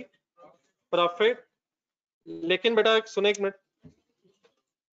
क्या इस कॉस्ट ऑफ़ सेल्स के अलावा मीन्स चीज़ों की कॉस्ट के अलावा भी बिज़नेस में एक्सपेंसेस हुए होंगे? तो मैंने फ़र्स्ट पेज पे दिखाए थे आपको। मसलन चंद एक एग्जांपल्स और जाने दें सर कॉस्ट और अकाउंटिंग मिक्स हो रही है।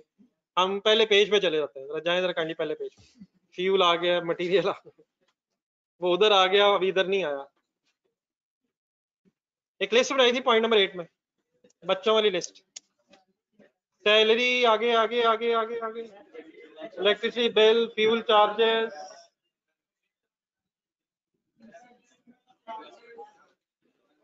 एक इधर ना प्रॉफिट की एक वर्किंग हुई होगी। एक, आपके पास इसी पेज पे। या अगले पेज पे प्रॉफिट फाइनली निकाला गया होगा। उसमें जरा बिज़नेस एक्सपेंसेस देखें ब्रैकेट बनी होगी वहाँ। हिम्मत हिम्मत हिम्मत। उसमें एक 20 लाख भी है। और वो पॉइंट नंबर एट वाले भी हैं। फिर फाइनली नेट प्रॉफिट लिखा होगा शायद हमने। तो कॉस्ट ऑफ़ सेल कौन सी है उसमें से? 20 लाख। नहीं बिज़नेस एक्सपेंसेस में 20 लाख जो है वो सिर्फ़ वो कॉस्ट ऑफ़ सेल है। तो उसके अलावा भी खर्चे हैं। तो अब जरा बोर्ड पे एक सेकंड देखें। मैं जरा इसकी एक प्रेजेंटेशन बस कर रहा हूँ। वो तो मैंने एक सिंपल सी वर्किंग करवा दी थी दो लाइनों में। तो अब मैं जरा प्रेजेंट कर रहा हूँ। तो सेल में से अगर कॉस्ट ऑफ़ सेल माइनस करेंगे तो ये फाइनल प्रॉफिट अभी नहीं आएगा। तो इसको एक नाम दिया जाता है ग्रॉस प्रॉफिट ग्रॉस प्रॉफिट से सिंपली मुराद, अभी सारे खर्चे माइनस नहीं हुए। रिमेनिंग एक्सपेंसेस माइनस करके फिर नेट प्रॉफिट आएगा। तो किसमें से क्या माइनस करें तो क्या चीज़ कैलकुलेट होगी? Sale minus cost of sale is equal to gross profit लिखें जी।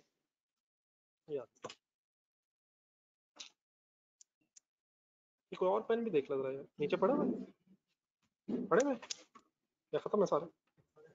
इसमें कुछ सेल का तो नहीं इशू किया जस्ट सेकंड ही।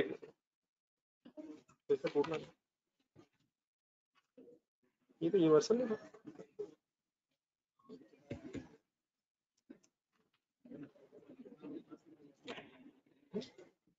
नहीं सेल ऐसे ना बदल जाकर पहले चेंज किया ये खुलता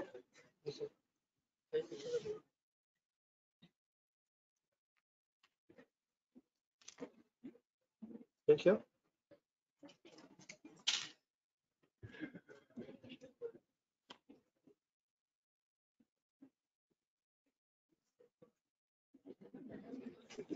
जी sales cost of sale is equal to gross profit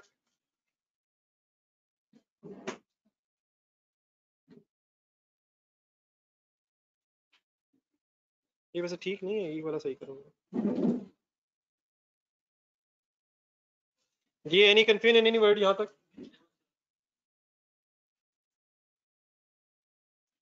आगे चलो सर। नहीं बेटा देन एक छोटी सी एक नई चीज़ और।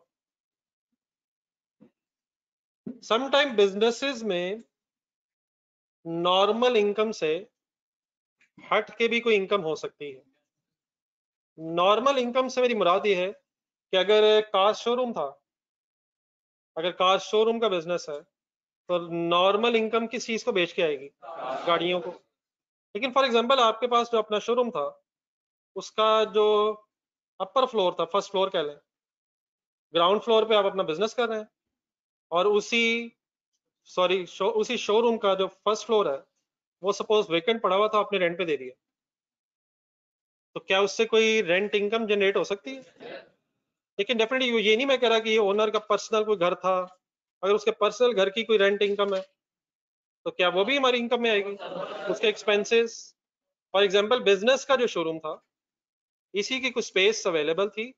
बिज़नेस ही का शोरूम और उस स्पेस को आपने रेंट आउट कर दिया है। तो इसी बिज़नेस ने अपनी नॉर्मल इनकम के अलावा अगर कोई और इनकम कमा ली है तो उसे बोला जाता है अदर इनकम अदर इनकम किसे बोलते हैं? हर वो इनकम जो नॉर्मल इनकम से हट के है। फॉर एग्ज़ाम्पल एक्स्ट्रा पैसे पड़े हुए थे और फ़िलहाल उनकी ज़रूरत नहीं थी। आपने उसे बैंक में डिपॉजिट करवा दिया और इंटरेस्ट इनकम जनरेट हो गई। इसे भी क्या कहेंगे? लेकिन अगर कोई बैंक है, उसका तो बिज़नेस ही क्या है? लोन्स देना और इंटरेस्ट कमाना, उसकी तो नॉर्मल इनकम कौन सी है? लेकिन अगर कोई कार शोरूम में एक्स्ट्रा पैसे इन्वेस्ट करके कोई इंटरेस्ट इनकम कमा ले तो वो अदर इनकम हो जाएगी। तो कोई रेंट कमा लिया, कोई इंटरेस्ट कमा लिया, ये कौन सी इनकम बन जाएगी? फिर एक शेयर्स का कॉन्सेप्ट भी होता है बिलफ सुना एक्स्ट्रा पैसे शेयर्स में इन्वेस्ट कर दिए, उससे क्या मिलता है? प्रॉफिट से हिस्सा मिलता है, उसे डिविडेंड बोला जाता है। तो इनशाला इनकी बातें करनी है हमने। तो एक डिविडेंड इनकम मीन्स होता है जो प्रॉफिट का शेयर है। तो अगर कोई भी इनकम है कोई भी इनकम है other than the normal income उसके लिए क्या लफ्ज बोला जाता है?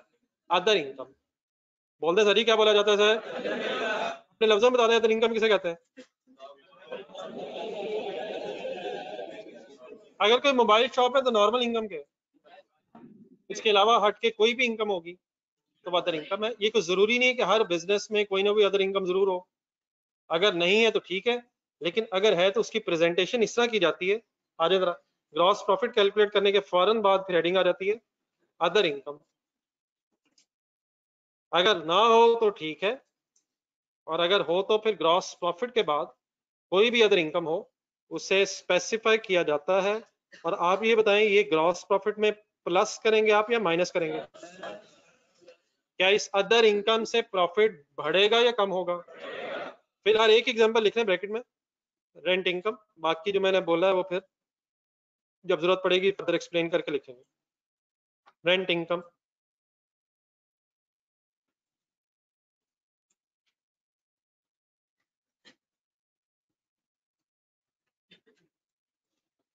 देन बेटा उसके बाद फाइनल लास्ट फिर ये है कि वो जो भी आपने लिस्ट देखी है अपने फ़र्स्ट पेज पे पॉइंट नंबर एट में, वो जितने भी एक्सपेंसेस थे, उन सब एक्सपेंसेस को इकट्ठा करके कहते हैं लेस ऑपरेटिंग एक्सपेंसेस किन एक्सपेंसेस का नाम मैंने ऑपरेटिंग एक्सपेंसेस बना दिए। नहीं मतलब किन के, वो मतलब चंद एक एग्जांपल्स पॉइंट नंबर एट में दिखा रहा था मैं। सैलरी यूटिलिटीज जो भी खर्चे हैं, उनको किस नाम से फ़िलहाल लिख लें? ऑपरेटिंग एक्सपेंसेस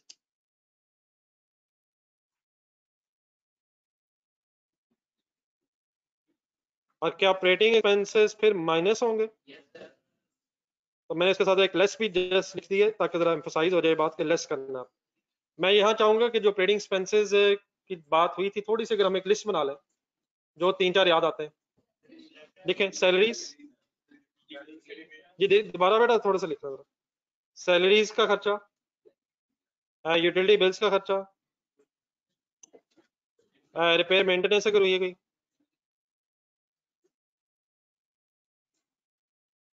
आप जो बेटा वर्ड बोल रहे हैं, ये इन्हीं ऑपरेटिंग एक्सपेंसेस का ही नाम है। लेकिन थोड़ा सा बच्चे बड़े हो जाए फिर बोलूँगा वो। आपने जो सुबह मेरे से एक लफ्ज सुना है कॉस्ट वालों ने वो इन्हीं का एक और नाम है। लेकिन ये जरा बच्चे हैं ये मेरे कहीं मिलजुल के कहीं इकट्ठे होके कहीं निकलने ना दे। तो ऐसा ऐसा। Repair maintenance. एक आध और जरा। फ्यूल चार्जेस कोई और? advertisement expense, transportation charges,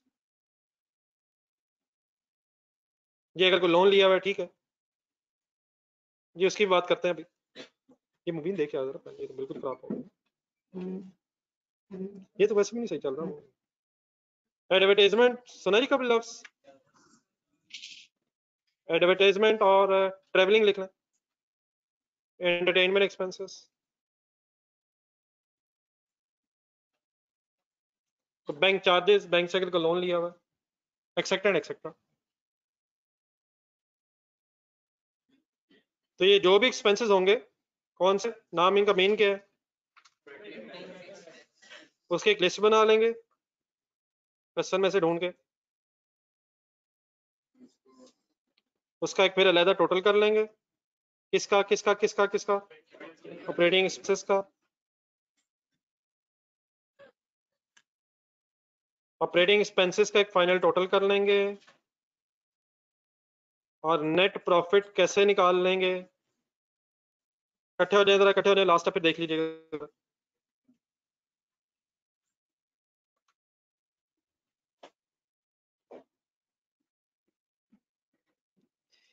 ये किस चीज़ का फाइनल एक सम किया है सॉर्ट ऑफ़ तो बिज़नेस के जो भी रिमेनिंग एक्सपेंसेस होंगे कॉस्ट ऑफ़ सेल के अलावा, वो इस लिस्ट में आ जाएँगे। और फाइनली फिर आप क्या करेंगे? बट सुने मेरा जरा। ग्रॉस प्रॉफिट उठाएँगे, उसमें अदर इनकम प्लस कर देंगे प्लस कर देंगे माइनस कर देंगे? Gross profit plus other income और माइनस ऑपरेटिंग एक्सपेंसेस जो फाइनल आंसर आएगा, अगर ग्रॉस प्रॉफिट ज़्यादा होगा तो नेट प्रॉफिट होगा। और अगर किसी वजह से नेगेटिव आंसर आ जाए तो फिर नेट लॉस आ जाएगा। अगर पॉजिटिव आंसर आ गया कैसे? Gross profit plus other income minus operating expenses positive answer आ गया तो क्या कहलाएगा? नेट प्रॉफिट और अगर नेगेटिव आंसर आ गया तो नेट लॉस कैलकुलेट हो जाएगा। एक नज़र रिवाइज कर लें। कोई भी कंफ्यूजन कैरी फॉरवर्ड आगे नहीं होनी चाहिए। आगे नहीं जानी चाहिए, यही खत्म हो जानी चाहिए। देख लें, कोई क्वेश्चन तो बता दो। ये ऑनलाइन स्टूडेंट्स भी कर ली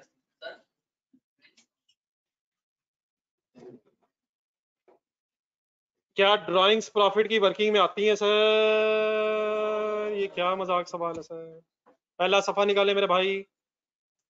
पहला सफ़ा ड्राइंग्स कहाँ आती हैं? सब ढूंढे जी, सब ढूंढे सब ढूंढे सब ढूंढे। कैपिटल की कैलकुलेशन में आती हैं सर ढूंढे ढूंढे, ढूंढ के बताए कहीं। नेट प्रॉफिट की कैलकुलेशन में ड्राइंग्स का कोई काम नहीं है। वहीं देखें, कहीं वर्किंग हुई भी है कैपिटल की, यार। ढूंढे ढूंढे ढूंढे। प्रॉफिट कैलकुलेट हो जाएगा। फिर उसके बाद ड्राइंग्स अलहदा लेस की जाएँगी कैपिटल की वर्किंग करते हुए। इस हेडिंग का नाम बताया जरा जो आपको नज़र आई। कहीं नज़र आई ड्राइंग्स ये कैलकुलेशन ऑफ़ कैपिटल में आएगी सर और ड्राइंग्स प्लीज़ कोई काम ही नहीं है ड्राइंग्स का प्रॉफिट की वर्किंग में। ड्राइंग्स कहते किसे? ओनर के खर्चे, बेटा। प्रॉफिट की वर्किंग में नहीं आएँगे। हाँ उसने अगर पैसे निकलवाए हैं तो प्रॉफिट कैलकुलेट करने के बाद उसमें से फिर वो लेके जाएगा। ठीक है सर?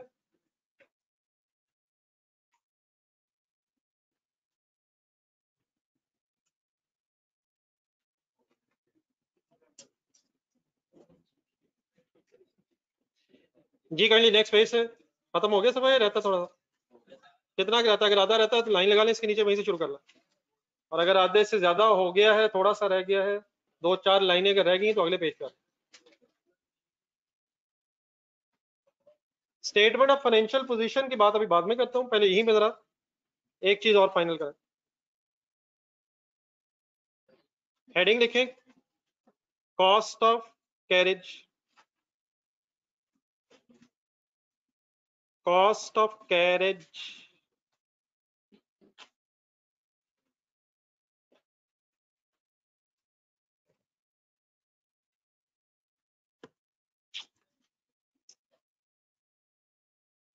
वहाँ से यहाँ तक स्टॉप हो। कॉस्ट ऑफ़ कैरेज बस कर दे sir.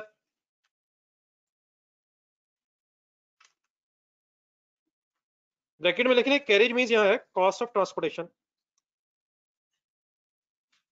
cost of carriage means cost of transportation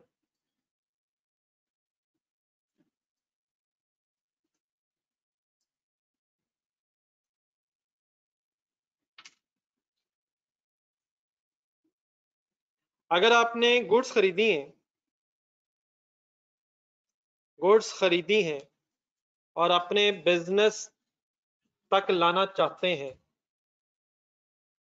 supplier Karachi में है, आपका शोरूम फॉर एग्जांपल लाहौर में है, गाड़ियों ने कराची से लाहौर आना है, कैसे बेचारी गाड़ियाँ लाहौर तक आएँगी? सर जी, कैसे आएँगी, सर? चला के ले आएँगे। पुरानी हो जाएँगी सेकंड हैंड हो जाएँगी। तो आपने देखा होगा ट्रक्स वगैरह पे लोड हुई होती हैं। तो वो ट्रांसपोर्टेशन कॉस्ट क्या, उनको भी पैसे देंगे पर ट्रक वाले को? इसकी बात हो रही है। इसी तरह अगर आप सेलर है, और आपका अपने कस्टमर से एग्रीमेंट कंसल्टेट किया करें, आप सेलर है, चीज़ें बेच रहे हैं, आपका कस्टमर से एग्रीमेंट है कि चीज़ें आपने उसके प्रेमिसेस उसकी बिल्डिंग तक पहुंचानी है। तो क्या चीज़ें फिर उस तक पहुँचाने के लिए अगर कोई ट्रांसपोर्टेशन कॉस्ट आएगी तो आपको एक्सपेंसेस में कंसिडर करनी चाहिए? बेसिकली मेरी इन बातों का मतलब कैरिज मींस ट्रांसपोर्टेशन कॉस्ट की बात कर रहा हूँ। तो ट्रांसपोर्टेशन कॉस्ट किन किन चीज़ों पे आ सकती है? परचेज रिलेटेड चीज़ों पे भी आ सकती है और सेल्स पे भी आ सकती है। तो पहले तो इसकी दो टाइप्स लिख लेना। There are two types of carriage carriage inwards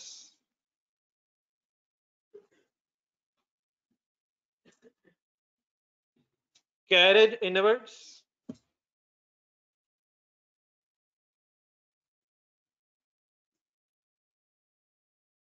Carriage से मुराद transportation simple make it simple लेकिन मैं वर्ड जान के ही लिख रहा हूँ। क्वेश्चंस में यूज़ होता है। Carriage simply means transportation inwards को बनाने की कोशिश करें। इनवर्ड से मींस क्या ये कैरेज परचेजेस से रिलेटेड होगा या सेल से? इनवर्ड्स इनवर्ड्स चीज़ों को लाने का कैरेज तो कौन सी चीज़ें आनी है? और अपोजिट साइड में लिखें कैरेज आउटवर्ड्स कैरेज आउटवर्ड्स कौन सी चीज़ें हमारे बिज़नेस से आउट होती हैं? कैरेज आउटवर्ड्स जी डेफिनेटली ये ट्रेवलिंग कॉस्ट है। लेकिन ट्रेवलिंग मुनासिब नहीं है वर्ड ट्रेवलिंग तो पर्सन की ट्रेवलिंग के लिए शायद वर्ड यूज़ होता है। तो ट्रांसपोर्टेशन एक फ्रेट वर्ड भी होता है। तो रहने दें वो भी कैरेज ट्रांसपोर्टेशन चीज़ों की ट्रांसपोर्टेशन कैरेज इनवर्ट्स किससे रिलेटेड होता है? नेक्स्ट लाइन में लिखा है। अगर चीज़ों को खरीद के अपने पास लाने के लिए कोई ट्रांसपोर्टेशन कॉस्ट आई है तो that is carriage inwards related to purchases और अगर चीज़ों को बेचने पे आपकी कोई ट्रांसपोर्टेशन कॉस्ट आई है तो रिलेटेड टू सेल्स इज़ बाकी डेफिनेटली भी अपनी कंक्लूजन ड्रॉ ना कीजिएगा, मैं एग्जांपल से फर्दर एक्सप्लेन करूँगा। तो अगर सेल्स से रिलेटेड कोई कैरेज कॉस्ट है तो वो कैरेज आउटवर्ड्स कहलाती है। पहले तो ये बता दें इनवर्ड्स आउटवर्ड हजम हो गया? परचेजेस इनवर्ड्स आती हैं। हमारे तक आती हैं। हमारे बिज़नेस में इन होती हैं। और सेल हमारे बिज़नेस से तो यहीं से ये वर्ड्स बने हुए कैरेज इनवर्ड्स मींस वो कैरेज जो परचेजेस से रिलेटेड है, और कैरेज आउटवर्ड मींस जो सेल से रिलेटेड अब अलहदा दोबारा हेडिंग लिखें। कैरेज इनवर्ड्स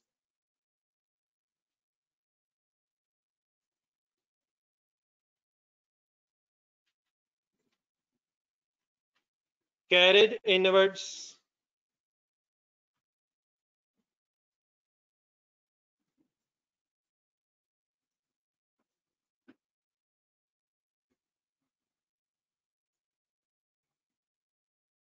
इसके एक एग्जांपल बना लें जरा समझने के लिए। इसका काउंटिंग ट्रीटमेंट क्या करना वो फिर आप बताइएगा। लेट्स सी वही कार शोरूम है। Purchase of 10 cars at the rate of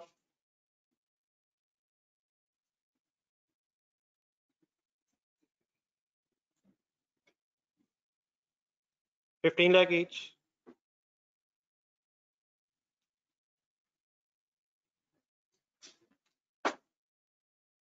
Purchases कितनी होगी? नहीं नहीं परचेजेस मीन्स परचेजेस अमाउंट पंद्रह लाख इंटू दस। फिफ्टीन मिलियन बिल्कुल ठीक है, डेढ़ करोड़।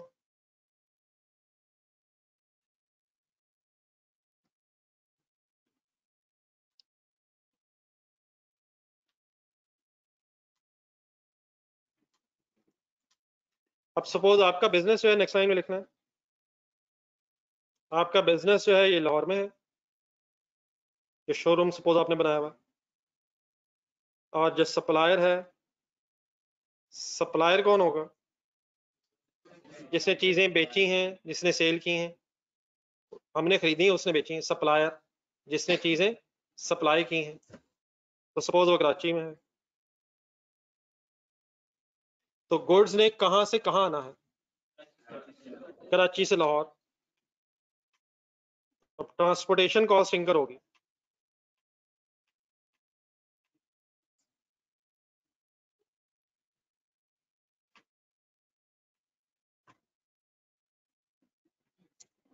पहले तो ये बता दें एग्जांपल समझ आ रही। क्या खरीद रहे हैं हम? कहाँ से अब कहाँ आनी है? Next line suppose transportation cost per car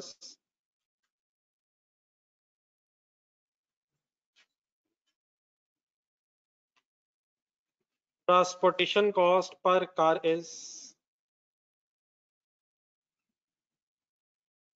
5000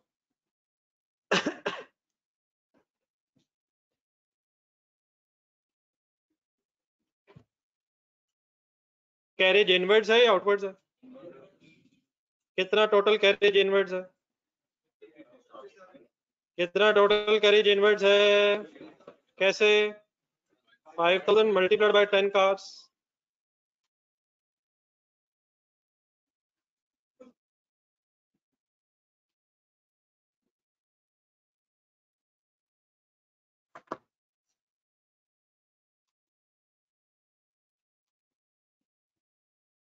carriage inwards अगर आपने ये कैश में पे कर दिया है।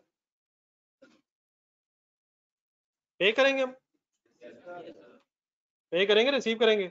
चीज़ें खरीद रहे हैं हम यार? ट्रांसपोर्टेशन करवानी है। तो क्या इसकी काउंटिंग एंट्री बनाएँगे कैश आएगा या जाएगा? कैश क्रेडिट हो जाएगा डेबिट कैश क्रेडिट हो जाएगा। और कैरेज इनवर्ड्स क्या चीज़ है? एक एक्सपेंस है। क्या डबल एंट्री करें? क्या काउंटिंग एंट्री करें? क्या काउंटिंग एंट्री करें? नेक्स्ट लाइन में जरा इसकी काउंटिंग एंट्री लिखें। कैरेज इनवर्ड्स डेबिट कितने से? कितने से कितने से कितने से? फिफ्टी थाउज़ेंड ये किसी को पता चल रहा है? मैं क्या लिख रहा हूँ? क्या लिख रहा हूँ ये? अकाउंटिंग एंट्री कहाँ लिखते हैं? किसी को पता? जर्नल में जर्नल में। जर्नल में कॉलम्स बनाते हैं। मैंने जरा कॉलम्स की बजाय सिर्फ़ एंट्री लिख दी है। हजम हो जाएगी सर। यकीनन अगर एग्जामिनर रिक्वायर करे जर्नल बनाए कॉलम बनाएँगे प्रेजेंट करेंगे। लेकिन अगर कभी डिस्कशन में ऐसे लिख दिया करूँ तो पता चल जाएगा क्या लिखा मैंने। क्या लिखा सर? अकाउंटिंग एंट्री लिखी है। लाइनें किधर गई? जहन में लगी हुई। अब बेटा यहाँ तक लिख के कोई कंफ्यूजन आपने मुझे ये बताना है, जरा ये फिगर्स रिलेट करें आपस में। जो गाड़ियों का सप्लायर है वो आपसे कितने पैसे लेगा? 15 मिलियन गाड़ियों का सप्लायर वो तो 15 मिलियन लेगा। ये जो ट्रांसपोर्ट कंपनी वाले लोग हैं, वो पचास हज़ार लेंगे। आपने मुझे ये बताना है कि आपको ये जो 10 गाड़ियाँ हैं फाइनली 15 मिलियन की पड़ी हैं या 15 मिलियन पचास हज़ार की पड़ी हैं? क्या आपको गाड़ियाँ डेढ़ करोड़ रुपए की पड़ी है या उसमें पचास हज़ार भी गाड़ियों को खरीदने की कॉस्ट है। खरीदने की सॉर्ट ऑफ़ उन्हें अपने पास लाने तक की। क्या हमारे पास आते आते गाड़ियों की टोटल कॉस्ट 15 मिलियन ही है या उसमें 50,000 भी ऐड हो जाना चाहिए? तो इसका आसान सा ट्रीटमेंट क्या हुआ कि कैरिज इनवर्ट्स को हमेशा आपने परचेज की कॉस्ट में प्लस कर देना। प्लस कर देना माइनस कर देना? क्यों प्लस कर देना? क्योंकि वो भी परचेज रिलेटेड कॉस्ट ही है। एक नेक्स्ट लाइन लिखें। Accounting treatment of carriage inwards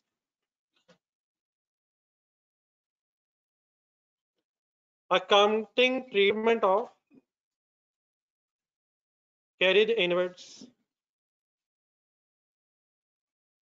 आपने जाना नहीं जाना। नहीं नहीं, मेरे तो मुझे तो कोई इतराज नहीं है carriage uh, sorry uh, uh, accounting treatment of carriage inwards.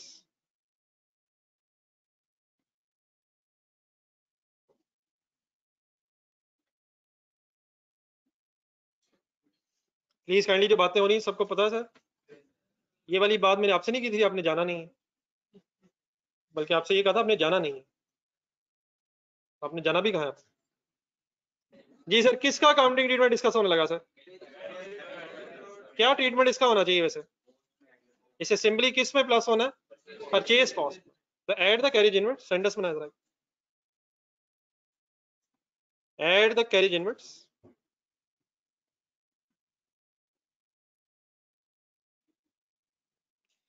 in purchases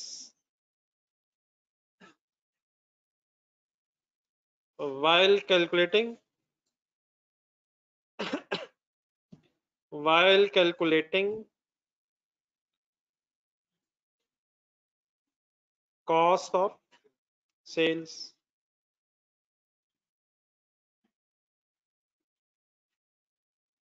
Cost of sales की वर्किंग ढूंढे।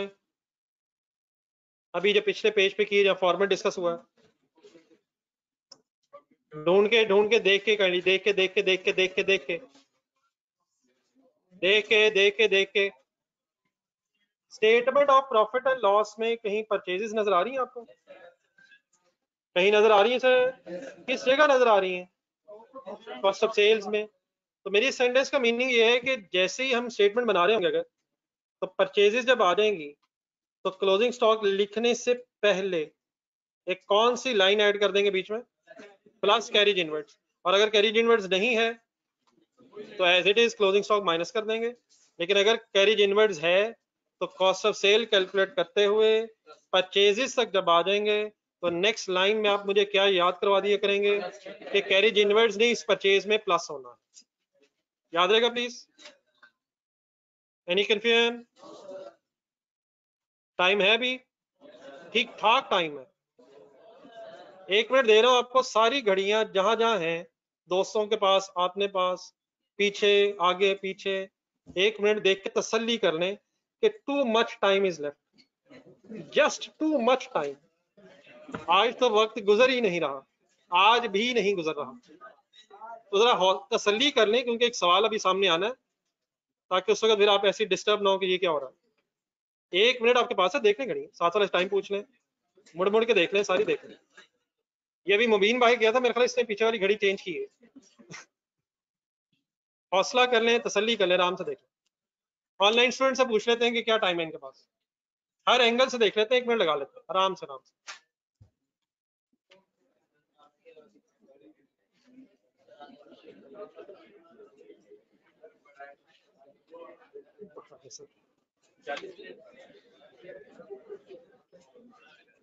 कैरीज आउटवर्ड्स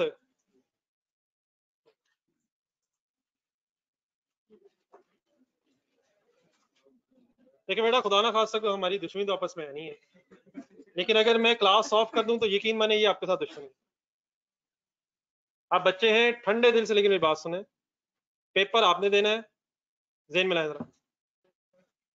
मेरा इस टाइम में पेपर देने का कोई प्लान नहीं है। मेरे अलावा कोई ये सेंटेंस बोल सकता है? बोलने में कोई हर्ज नहीं है, लेकिन आप नहीं बोल सकते। अगर बोल सकते हैं तो जो जिन साहब ने पेपर नहीं देने, वो चले जाए। और पेपर किस चीज़ का देना आपने? एफ़ ए वन का। हम क्या पढ़ रहे हैं? इंट्रोडक्शन टू अकाउंटिंग तो इंट्रोडक्शन होगा तो हमने वहाँ पहुँचना शुरू कर ले, सर? ना, चाहते हुए शुरू कर ऐसा ऐसा इंशाल्लाह आदत पड़ जाएगी। लेकिन वैसे कुछ ना कुछ अब आदत बन गई होनी चाहिए। नहीं, अभी तक असल में पाँच पूरे बजे नहीं कभी भी। तो कई दफ़ा नहीं भी तो बजे यार। कैरेज आउटवर्ड सर गाड़ियों से जरा एग्जांपल बदलते हैं सर जरा। मेरा ख्याल गाड़ियों की वजह से बोर हुए आप।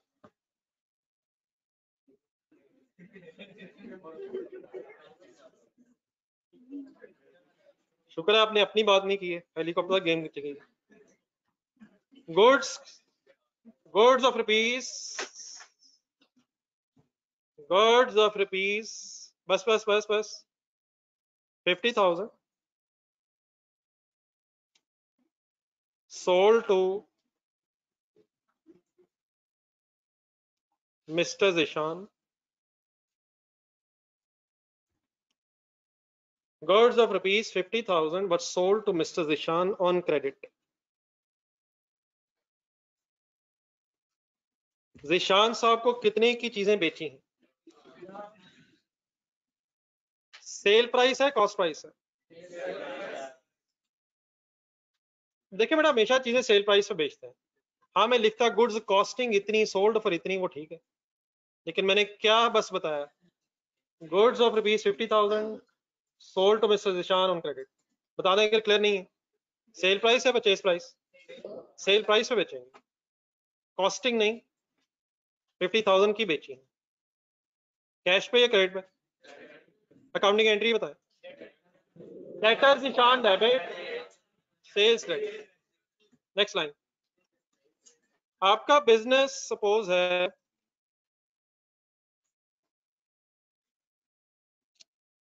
इस्लामाबाद में?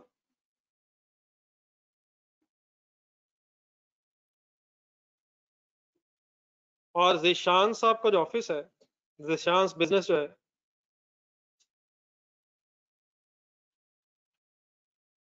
वो है सपोज़ सर है वर्ड बदल लेते हैं। सपोज़ पिशावर आप कहाँ हैं? जिशान साहब कहाँ हैं? आपका बिज़नेस है? आपका बिज़नेस कहाँ है सर अब चीज़ें कहाँ से कहाँ जानी है?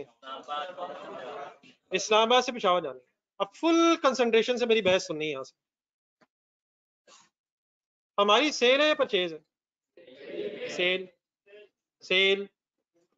एक एग्रीमेंट सिंपली ये हो सकता है कि हमने जिशान को चीज़ें बेची हैं और बाद में अब जिशान ने इस्लामाबाद से पेशावर खुद लेके जानी है। किसने कहाँ से कहाँ लेके जानी है? हमने चीज़ें बेची हैं। एग्रीमेंट ये है कि जिशान खुद चीज़ें इस्लामाबाद से पेशावर लेके जाएगा। इस केस में अगर कोई ट्रांसपोर्टेशन कॉस्ट आएगी तो उससे हमारा कोई लिंक नहीं होगा। ये किसके लिए क्या होगा? ये जिशान के लिए कैरेज इनवर्ड्स होगा। इनवर्ड्स या आउटवर्ड्स? इनवर्ड्स कहाँ से आ तो सेल है। उसकी परचेज है, उसकी परचेज तो अगर तो एग्रीमेंट ये हो कि चीज़ें उसने खुद लेके जानी है तो हमारा उन चीज़ों के जाने पे कोई खर्चा अगर हो तो कोई कंसर्न नहीं है। लेकिन सपोज़ हमारा एग्रीमेंट ये है। नेक्स्ट लाइन में लिखते Suppose it is agreed.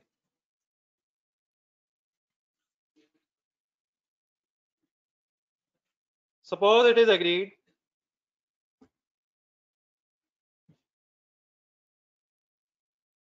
With Ishan. That we will deliver. We will deliver. The goods to Zishan in Peshawar.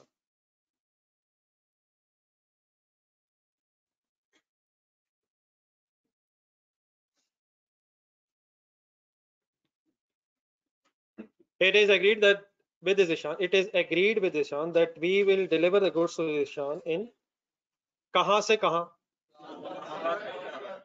Suppose Ishan साहब हमारे से चीज़ें खरीदने में इंटरेस्टेड इसलिए हैं कि हमने उनके साथ कमिटमेंट की है कि हम चीज़ें पहुंचाएँगे।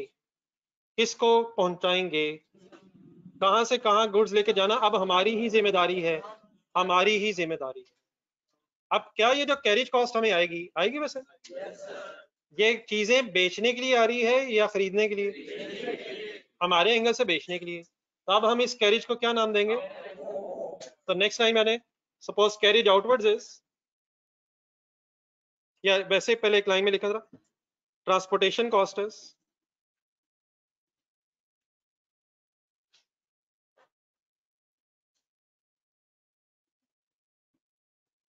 suppose 3000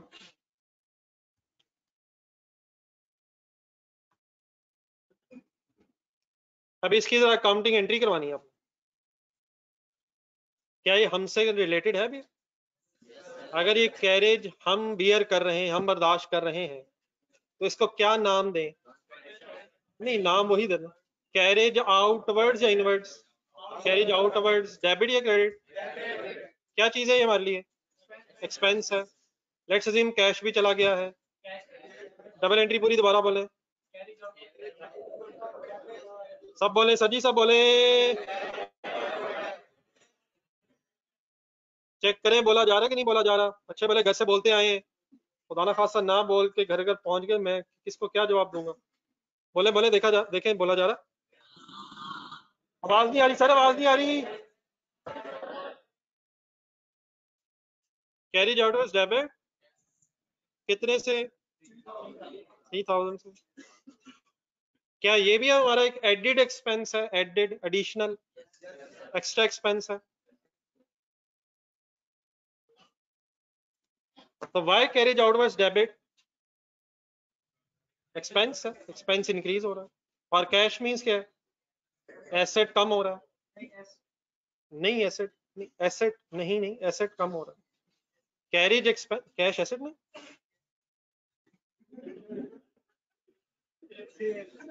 कैश एसेट जी अब जरा अपने सामने जरा स्टेटमेंट रखें सर ये स्टेटमेंट ऑफ़ प्रॉफिट लॉस कहाँ है कहाँ है कहाँ है? चेक करें गुम तो नहीं गई। चेक करें चेक करें चेक करें। अगर गुम गई दोबारा शुरू करना वहीं से। जल्दी जल्दी चेक करें, मिल गई। ये स्टेटमेंट देख के जरा आप हेल्प करें काइंडली ये carriage outwards as an expense कहीं नज़र आना चाहिए। हेल्प मी कहा? ये भी एक एक्सपेंस है भैया।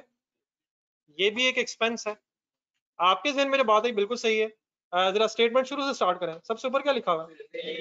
अब थोड़ा सा नीचे है ऑपरेटिंग एक्सपेंसेस क्या अल्टीमेटली नहीं नीचे जरा ऑपरेटिंग एक्सपेंसेस क्या आखिरकार वो जो एक्सपेंसेस है ऑपरेटिंग वो सेल में से माइनस होकर प्रॉफिट आना फाइनल रास्ते में बीच में कॉस्ट ऑफ़ सेल आ गई है।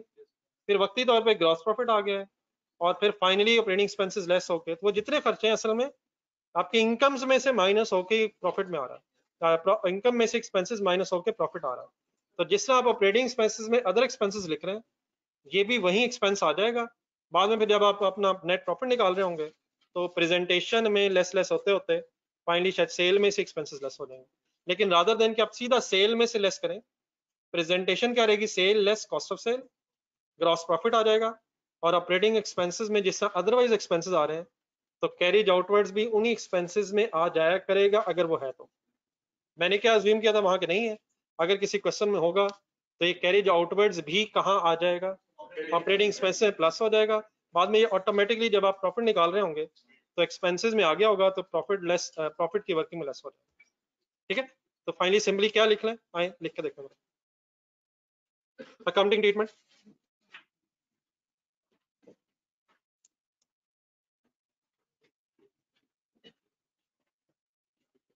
बेटा, अगर जिशान कुछ कवर कर रहा होगा एक मिनट सुनिएगा जरा जी, छोड़ दें बात। लिखना छोड़े, एक मिनट जरा क्वेश्चन आया, आप भी सोचें। फ़र्ज़ करें ये तीन हज़ार कैरिज कॉस्ट है। डिसाइड जिशान से ये हुआ है कि तीन हज़ार में से दो हज़ार हम बियर करेंगे और हज़ार जिशान बियर करेगा। आप बताएँ, हज़ार से कोई हमारा कंसर्न है फिर? इसको बेटा हम रिकॉर्ड ही नहीं करेंगे। हम सिर्फ़ टू थाउज़ेंड से अपना एक्सपेंस रिकॉर्ड करेंगे। अगर सारा हमने देना है तो सारा हमारा। सारा उसने देना है। तो हमारा कुछ भी नहीं, हमारा कुछ भी नहीं। इस सारे का वो जो करना है वो करेगा। और अगर कुछ हमारा, कुछ उसका तो जो कुछ हमारा, बस वो हम रिकॉर्ड करेंगे। जो हमारा खर्चा है वो रिकॉर्ड करेंगे। जो हमारा खर्चा ही नहीं है, सही कहा भाई ने, बिल्कुल ठीक है। जो हमारा खर्चा है, बस हम उसको रिकॉर्ड करेंगे। ये ठीक है बेटा ऑनलाइन स्टूडेंट्स चलिए फाइनली हेडिंग लिखी नहीं यार। अकाउंटिंग ट्रीटमेंट ये बेटा आप लोगों को क्लियर हो गया?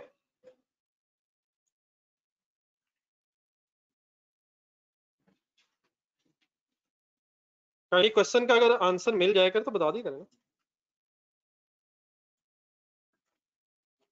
अकाउंटिंग ट्रीटमेंट किसका अकाउंटिंग ट्रीटमेंट ओके सॉरी मैंने ऐसी लाइन लगा दी, अब लाइन अभी ना लगाए, उसके बाद लगाइए। या चले लग गई तो खैर।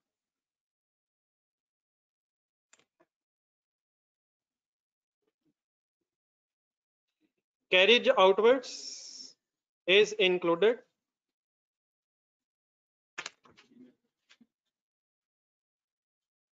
Kindly जरा दुआ कर दें यार। कौन सी दुआ कर रहे हैं? ना करें यार। छुट्टी करनी वैसे ही कर लें यार। इस तरह तो ना करें। तो बस पंद्रह, बीस, पच्चीस, तीस मिनट ही रह गए। नहीं, बीच में प्लस का साइन तो लगा रहा मैं। महावरतन बोल रहा हूँ। चलिए इस तरह करते हैं जिस वक्त आप थक जाएँगे ना उस वक्त ऑफ़ कर लेंगे।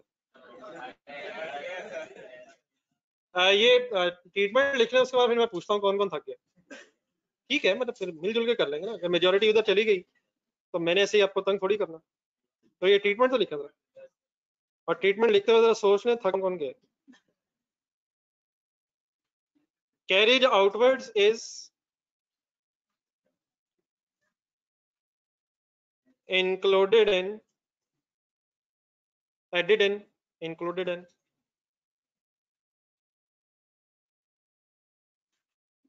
Operating expenses. Carriage inwards is included in. Operating expenses. While preparing statement of profit or loss. Sentence pura kar carriage outwards is included in operating expenses. While preparing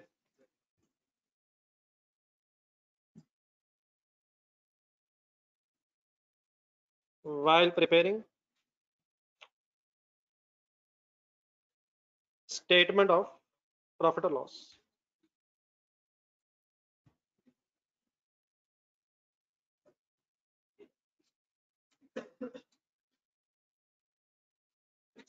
while preparing statement of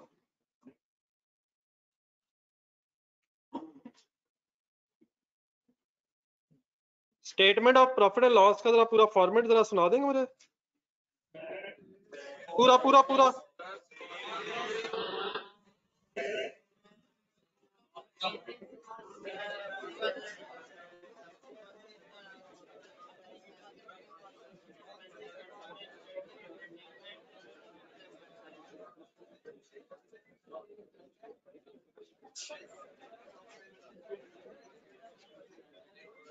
next heading लिखे counting period आप तो थकते ही नहीं हो यार, इतना ऊँचा बोली जा रहे हो। एक बेटा प्लीज़ ये कोई खुदा ना खासा चॉइस की बात नहीं है। आपको तंग करने वाली बात नहीं, मजबूरी है। ये बहुत कुछ है अभी। अकाउंटिंग पीरियड टाइम कितना रहता है, ये बता दें।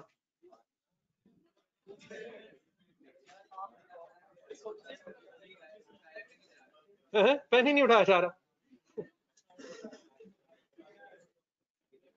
देखिए, घर जाके इस वक्त नींद तो आनी नहीं है।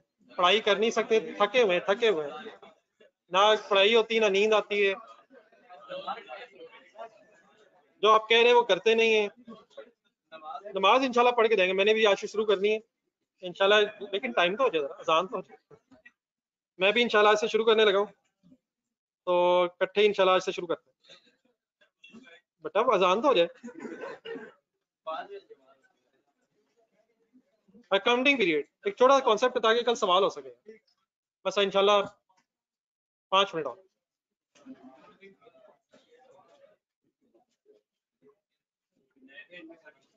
नहीं ज़रूरत नहीं है नए पेज की। आपने नया पेज मज़ाक बना लिया? अकाउंटिंग पीरियड किसे कहते हैं? सर, बस कर दे, सर, बस कर। मुझे सुनाना है, मुझे सुनाना भाईजान भाईजान अकाउंटिंग पीरियड मुझे बताना भाई को बताइए दिखा दो मुझे सुनाना ढूंढ के कहीं ढूंढ के कहीं। नहीं पढ़ाई की बात कर रहे हो हाँ मुझे पता है मुझे पता है। अकाउंटिंग पीरियड किसे कहते हैं? कहीं ढूंढ के बताएँ जी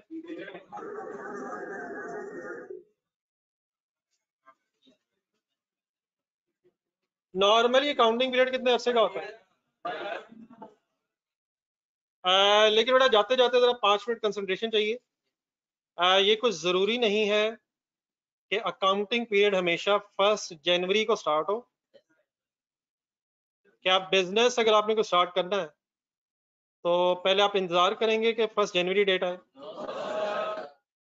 करेंगे, यार, क्या हो गया? जो करना चाहे वो कर ले, लेकिन ये कुछ ज़रूरी नहीं है। क्या बिज़नेस किसी डेट पे भी स्टार्ट हो सकता है? तो काइंडली बोर्ड पे आप देखना है, लिखने की ज़रूरत नहीं है। पहला सिनेरियो ये है कि सपोज़ एक बिज़नेस स्टार्ट हुआ है।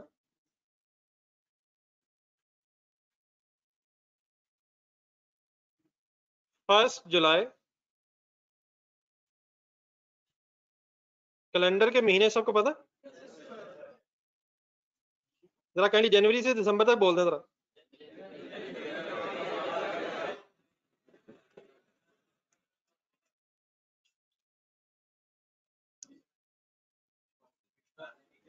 बिज़नेस स्टार्ट हुआ है फ़र्स्ट जुलाई 2020 पे।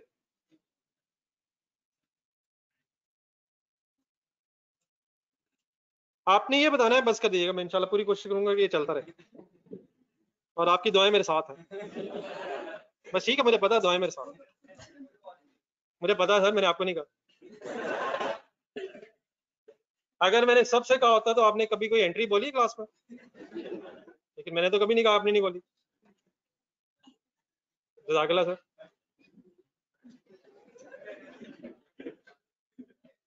क्या मैं अजम्पशन ही ले रहा कि सारे पढ़ रहे क्या मुझे नहीं पता यहाँ गेम ऑन है? मेरे पास माइक है बगैर माइक के। ना करे यार, मुझे पता है दिल से दुआ निकली ना बोलने की दुआ करने की ज़रूरत है हमारे ताल्लुक इतने बुरे तो नहीं है। कोई नहीं, इंशाल्लाह कभी दे दीजिएगा। मेरी हरकतें खराब नहीं इसलिए आपने नहीं दी होगी। या मेरे इस बच्चे की दुआओं का मुस्तक बना। ठीक है, कोताही मेरी होगी। वरना ये कैसे हो सकता है कि कोई नौजवान मुझे दुआ भी ना दे? कोताही मेरी।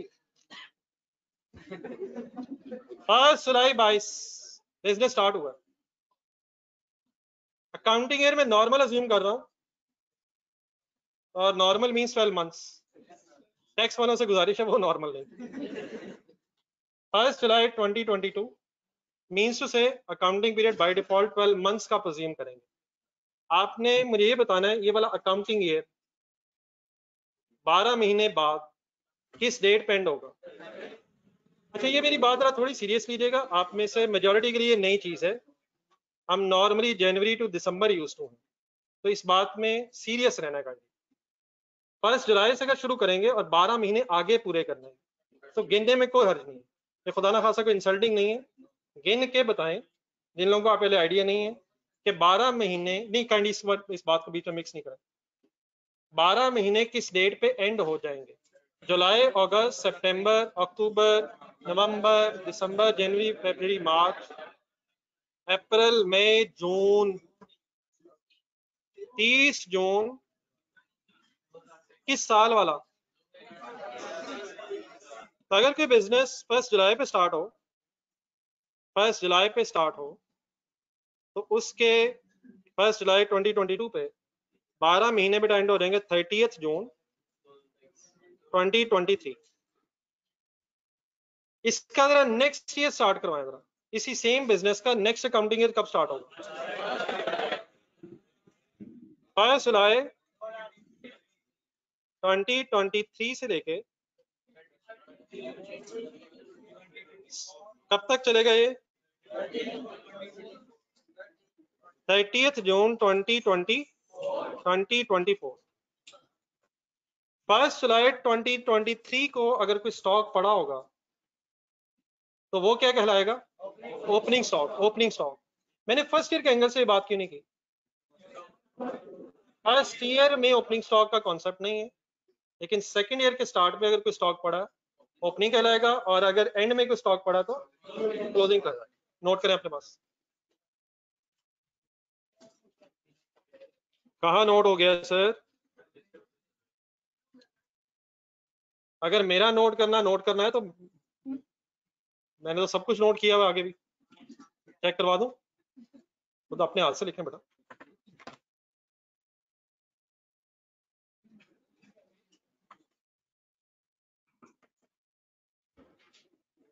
अल्हम्दुलिल्लाह टाइम अभी भी हमारी तरफ़ है।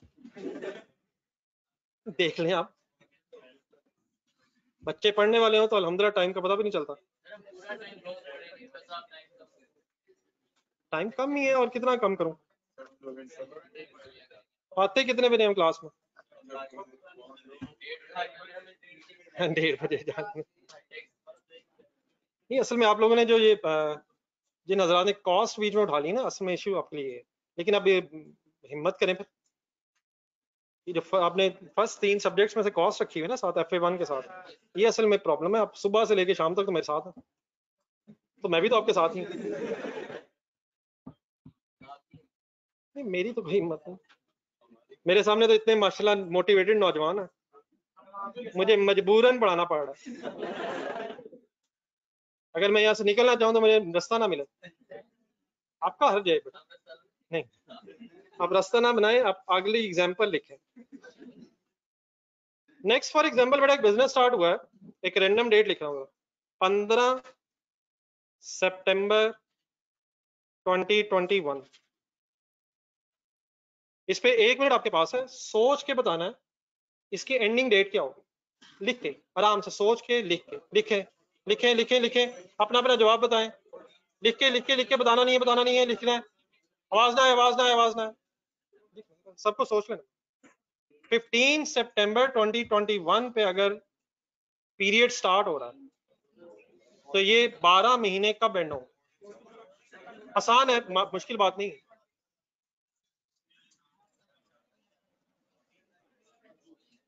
और जाने तो बेटा 16 अगस्त से यार। फोर्टीन अगस्त भी है। बेटा वो ठीक है फोर्टीन अगस्त इंपॉर्टेंट डेट है, लेकिन पंद्रह अगस्त नहीं बेटा, क्या क्या हो गया? और बारह बेटा पूरे करने चले, गिनते जी, पहला महीना का बैंड होगा? पंद्रह अक्टूबर, हिम्मत हिम्मत। गिनी जाए, आगे गिनी जाए। पंद्रह नवंबर, पंद्रह दिसंबर, जनवरी, फरवरी, मार्च, अप्रैल, मई, जून, जुलाई, अगस्त पे ग्यारह हुए अभी। पंद्रह के बजाय तो फोर्टीन कर। लो एक लम्हा पहले। असल में ग्यारह, बारह बजे। ग्यारह नहीं, रात। अगले लम्हे, इस तरह से। फोर्टीन रात, पंद्रह बारह बजे एक मिनट, बल्कि एक पूरा मिनट, एक सेकेंड तो अगले साल फोर्टीन सितंबर पे बारह जस्ट बजे तो हमारा ईयर एंड हो डेट बोल दें। अगर मैं पंद्रह लिख दूँगा तो एक दिन शायद और काउंट हो जाएगा। पंद्रह, अगला भी मैंने लिख दिया तो काउंट हो जाएगा। तो पंद्रह ये अगर काउंट हो रहा है तो वहाँ फोर्टीन तक काउंट है। फाइनल बोल दें कौन सी डेट है? फोर्टीन सितंबर 2022 14 सितंबर 2022 अगला काउंटिंग है जल्दी से स्टार्ट करके एंड कर दे। Same business same business same business 15 September 2022 14 September 14 September 2023 example number 3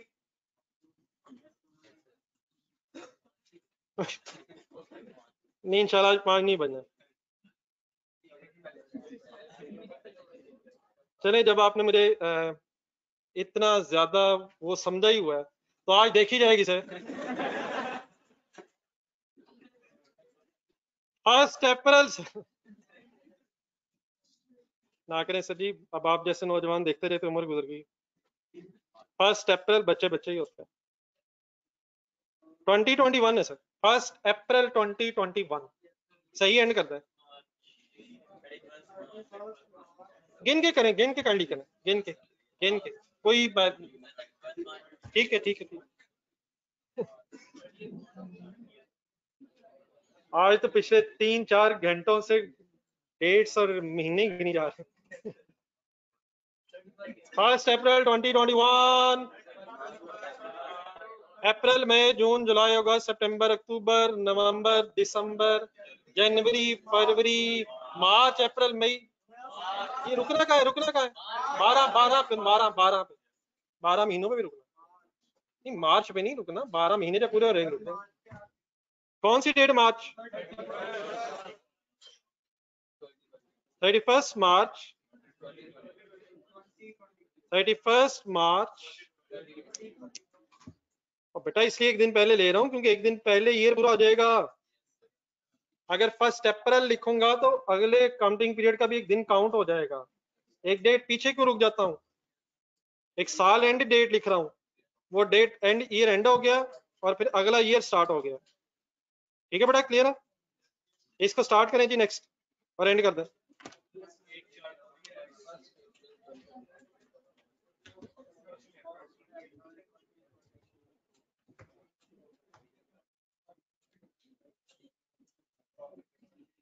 एक जुबानी जरा ट्राई करें।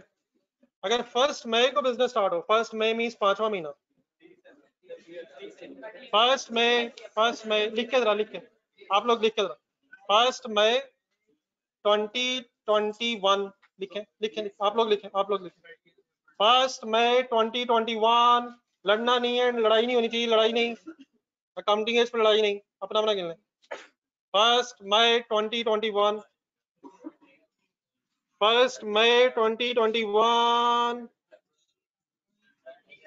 कब एंड होगा, कब एंड होगा? Thirtieth April any confusion anywhere सब ओके सर आज बेटा एक फेवर ये करें जरा। ये जो कल तीन क्वेश्चन थे, जिनके सिर्फ़ जनरल आपने बनाए हैं। बनाए हैं बस? चौथा तो सर जी पिछला में था। इसमें चौथा था ही नहीं। चौथा कहाँ से ढूंढ लिया? नहीं, मैंने तो होमवर्क तो कोई भी नहीं, शायद दिया अगर दिया होगा तो आपने किया होगा। तो वो नहीं कह रहा, वो नहीं कह रहा। मतलब मैं अगली बात कर रहा हूँ।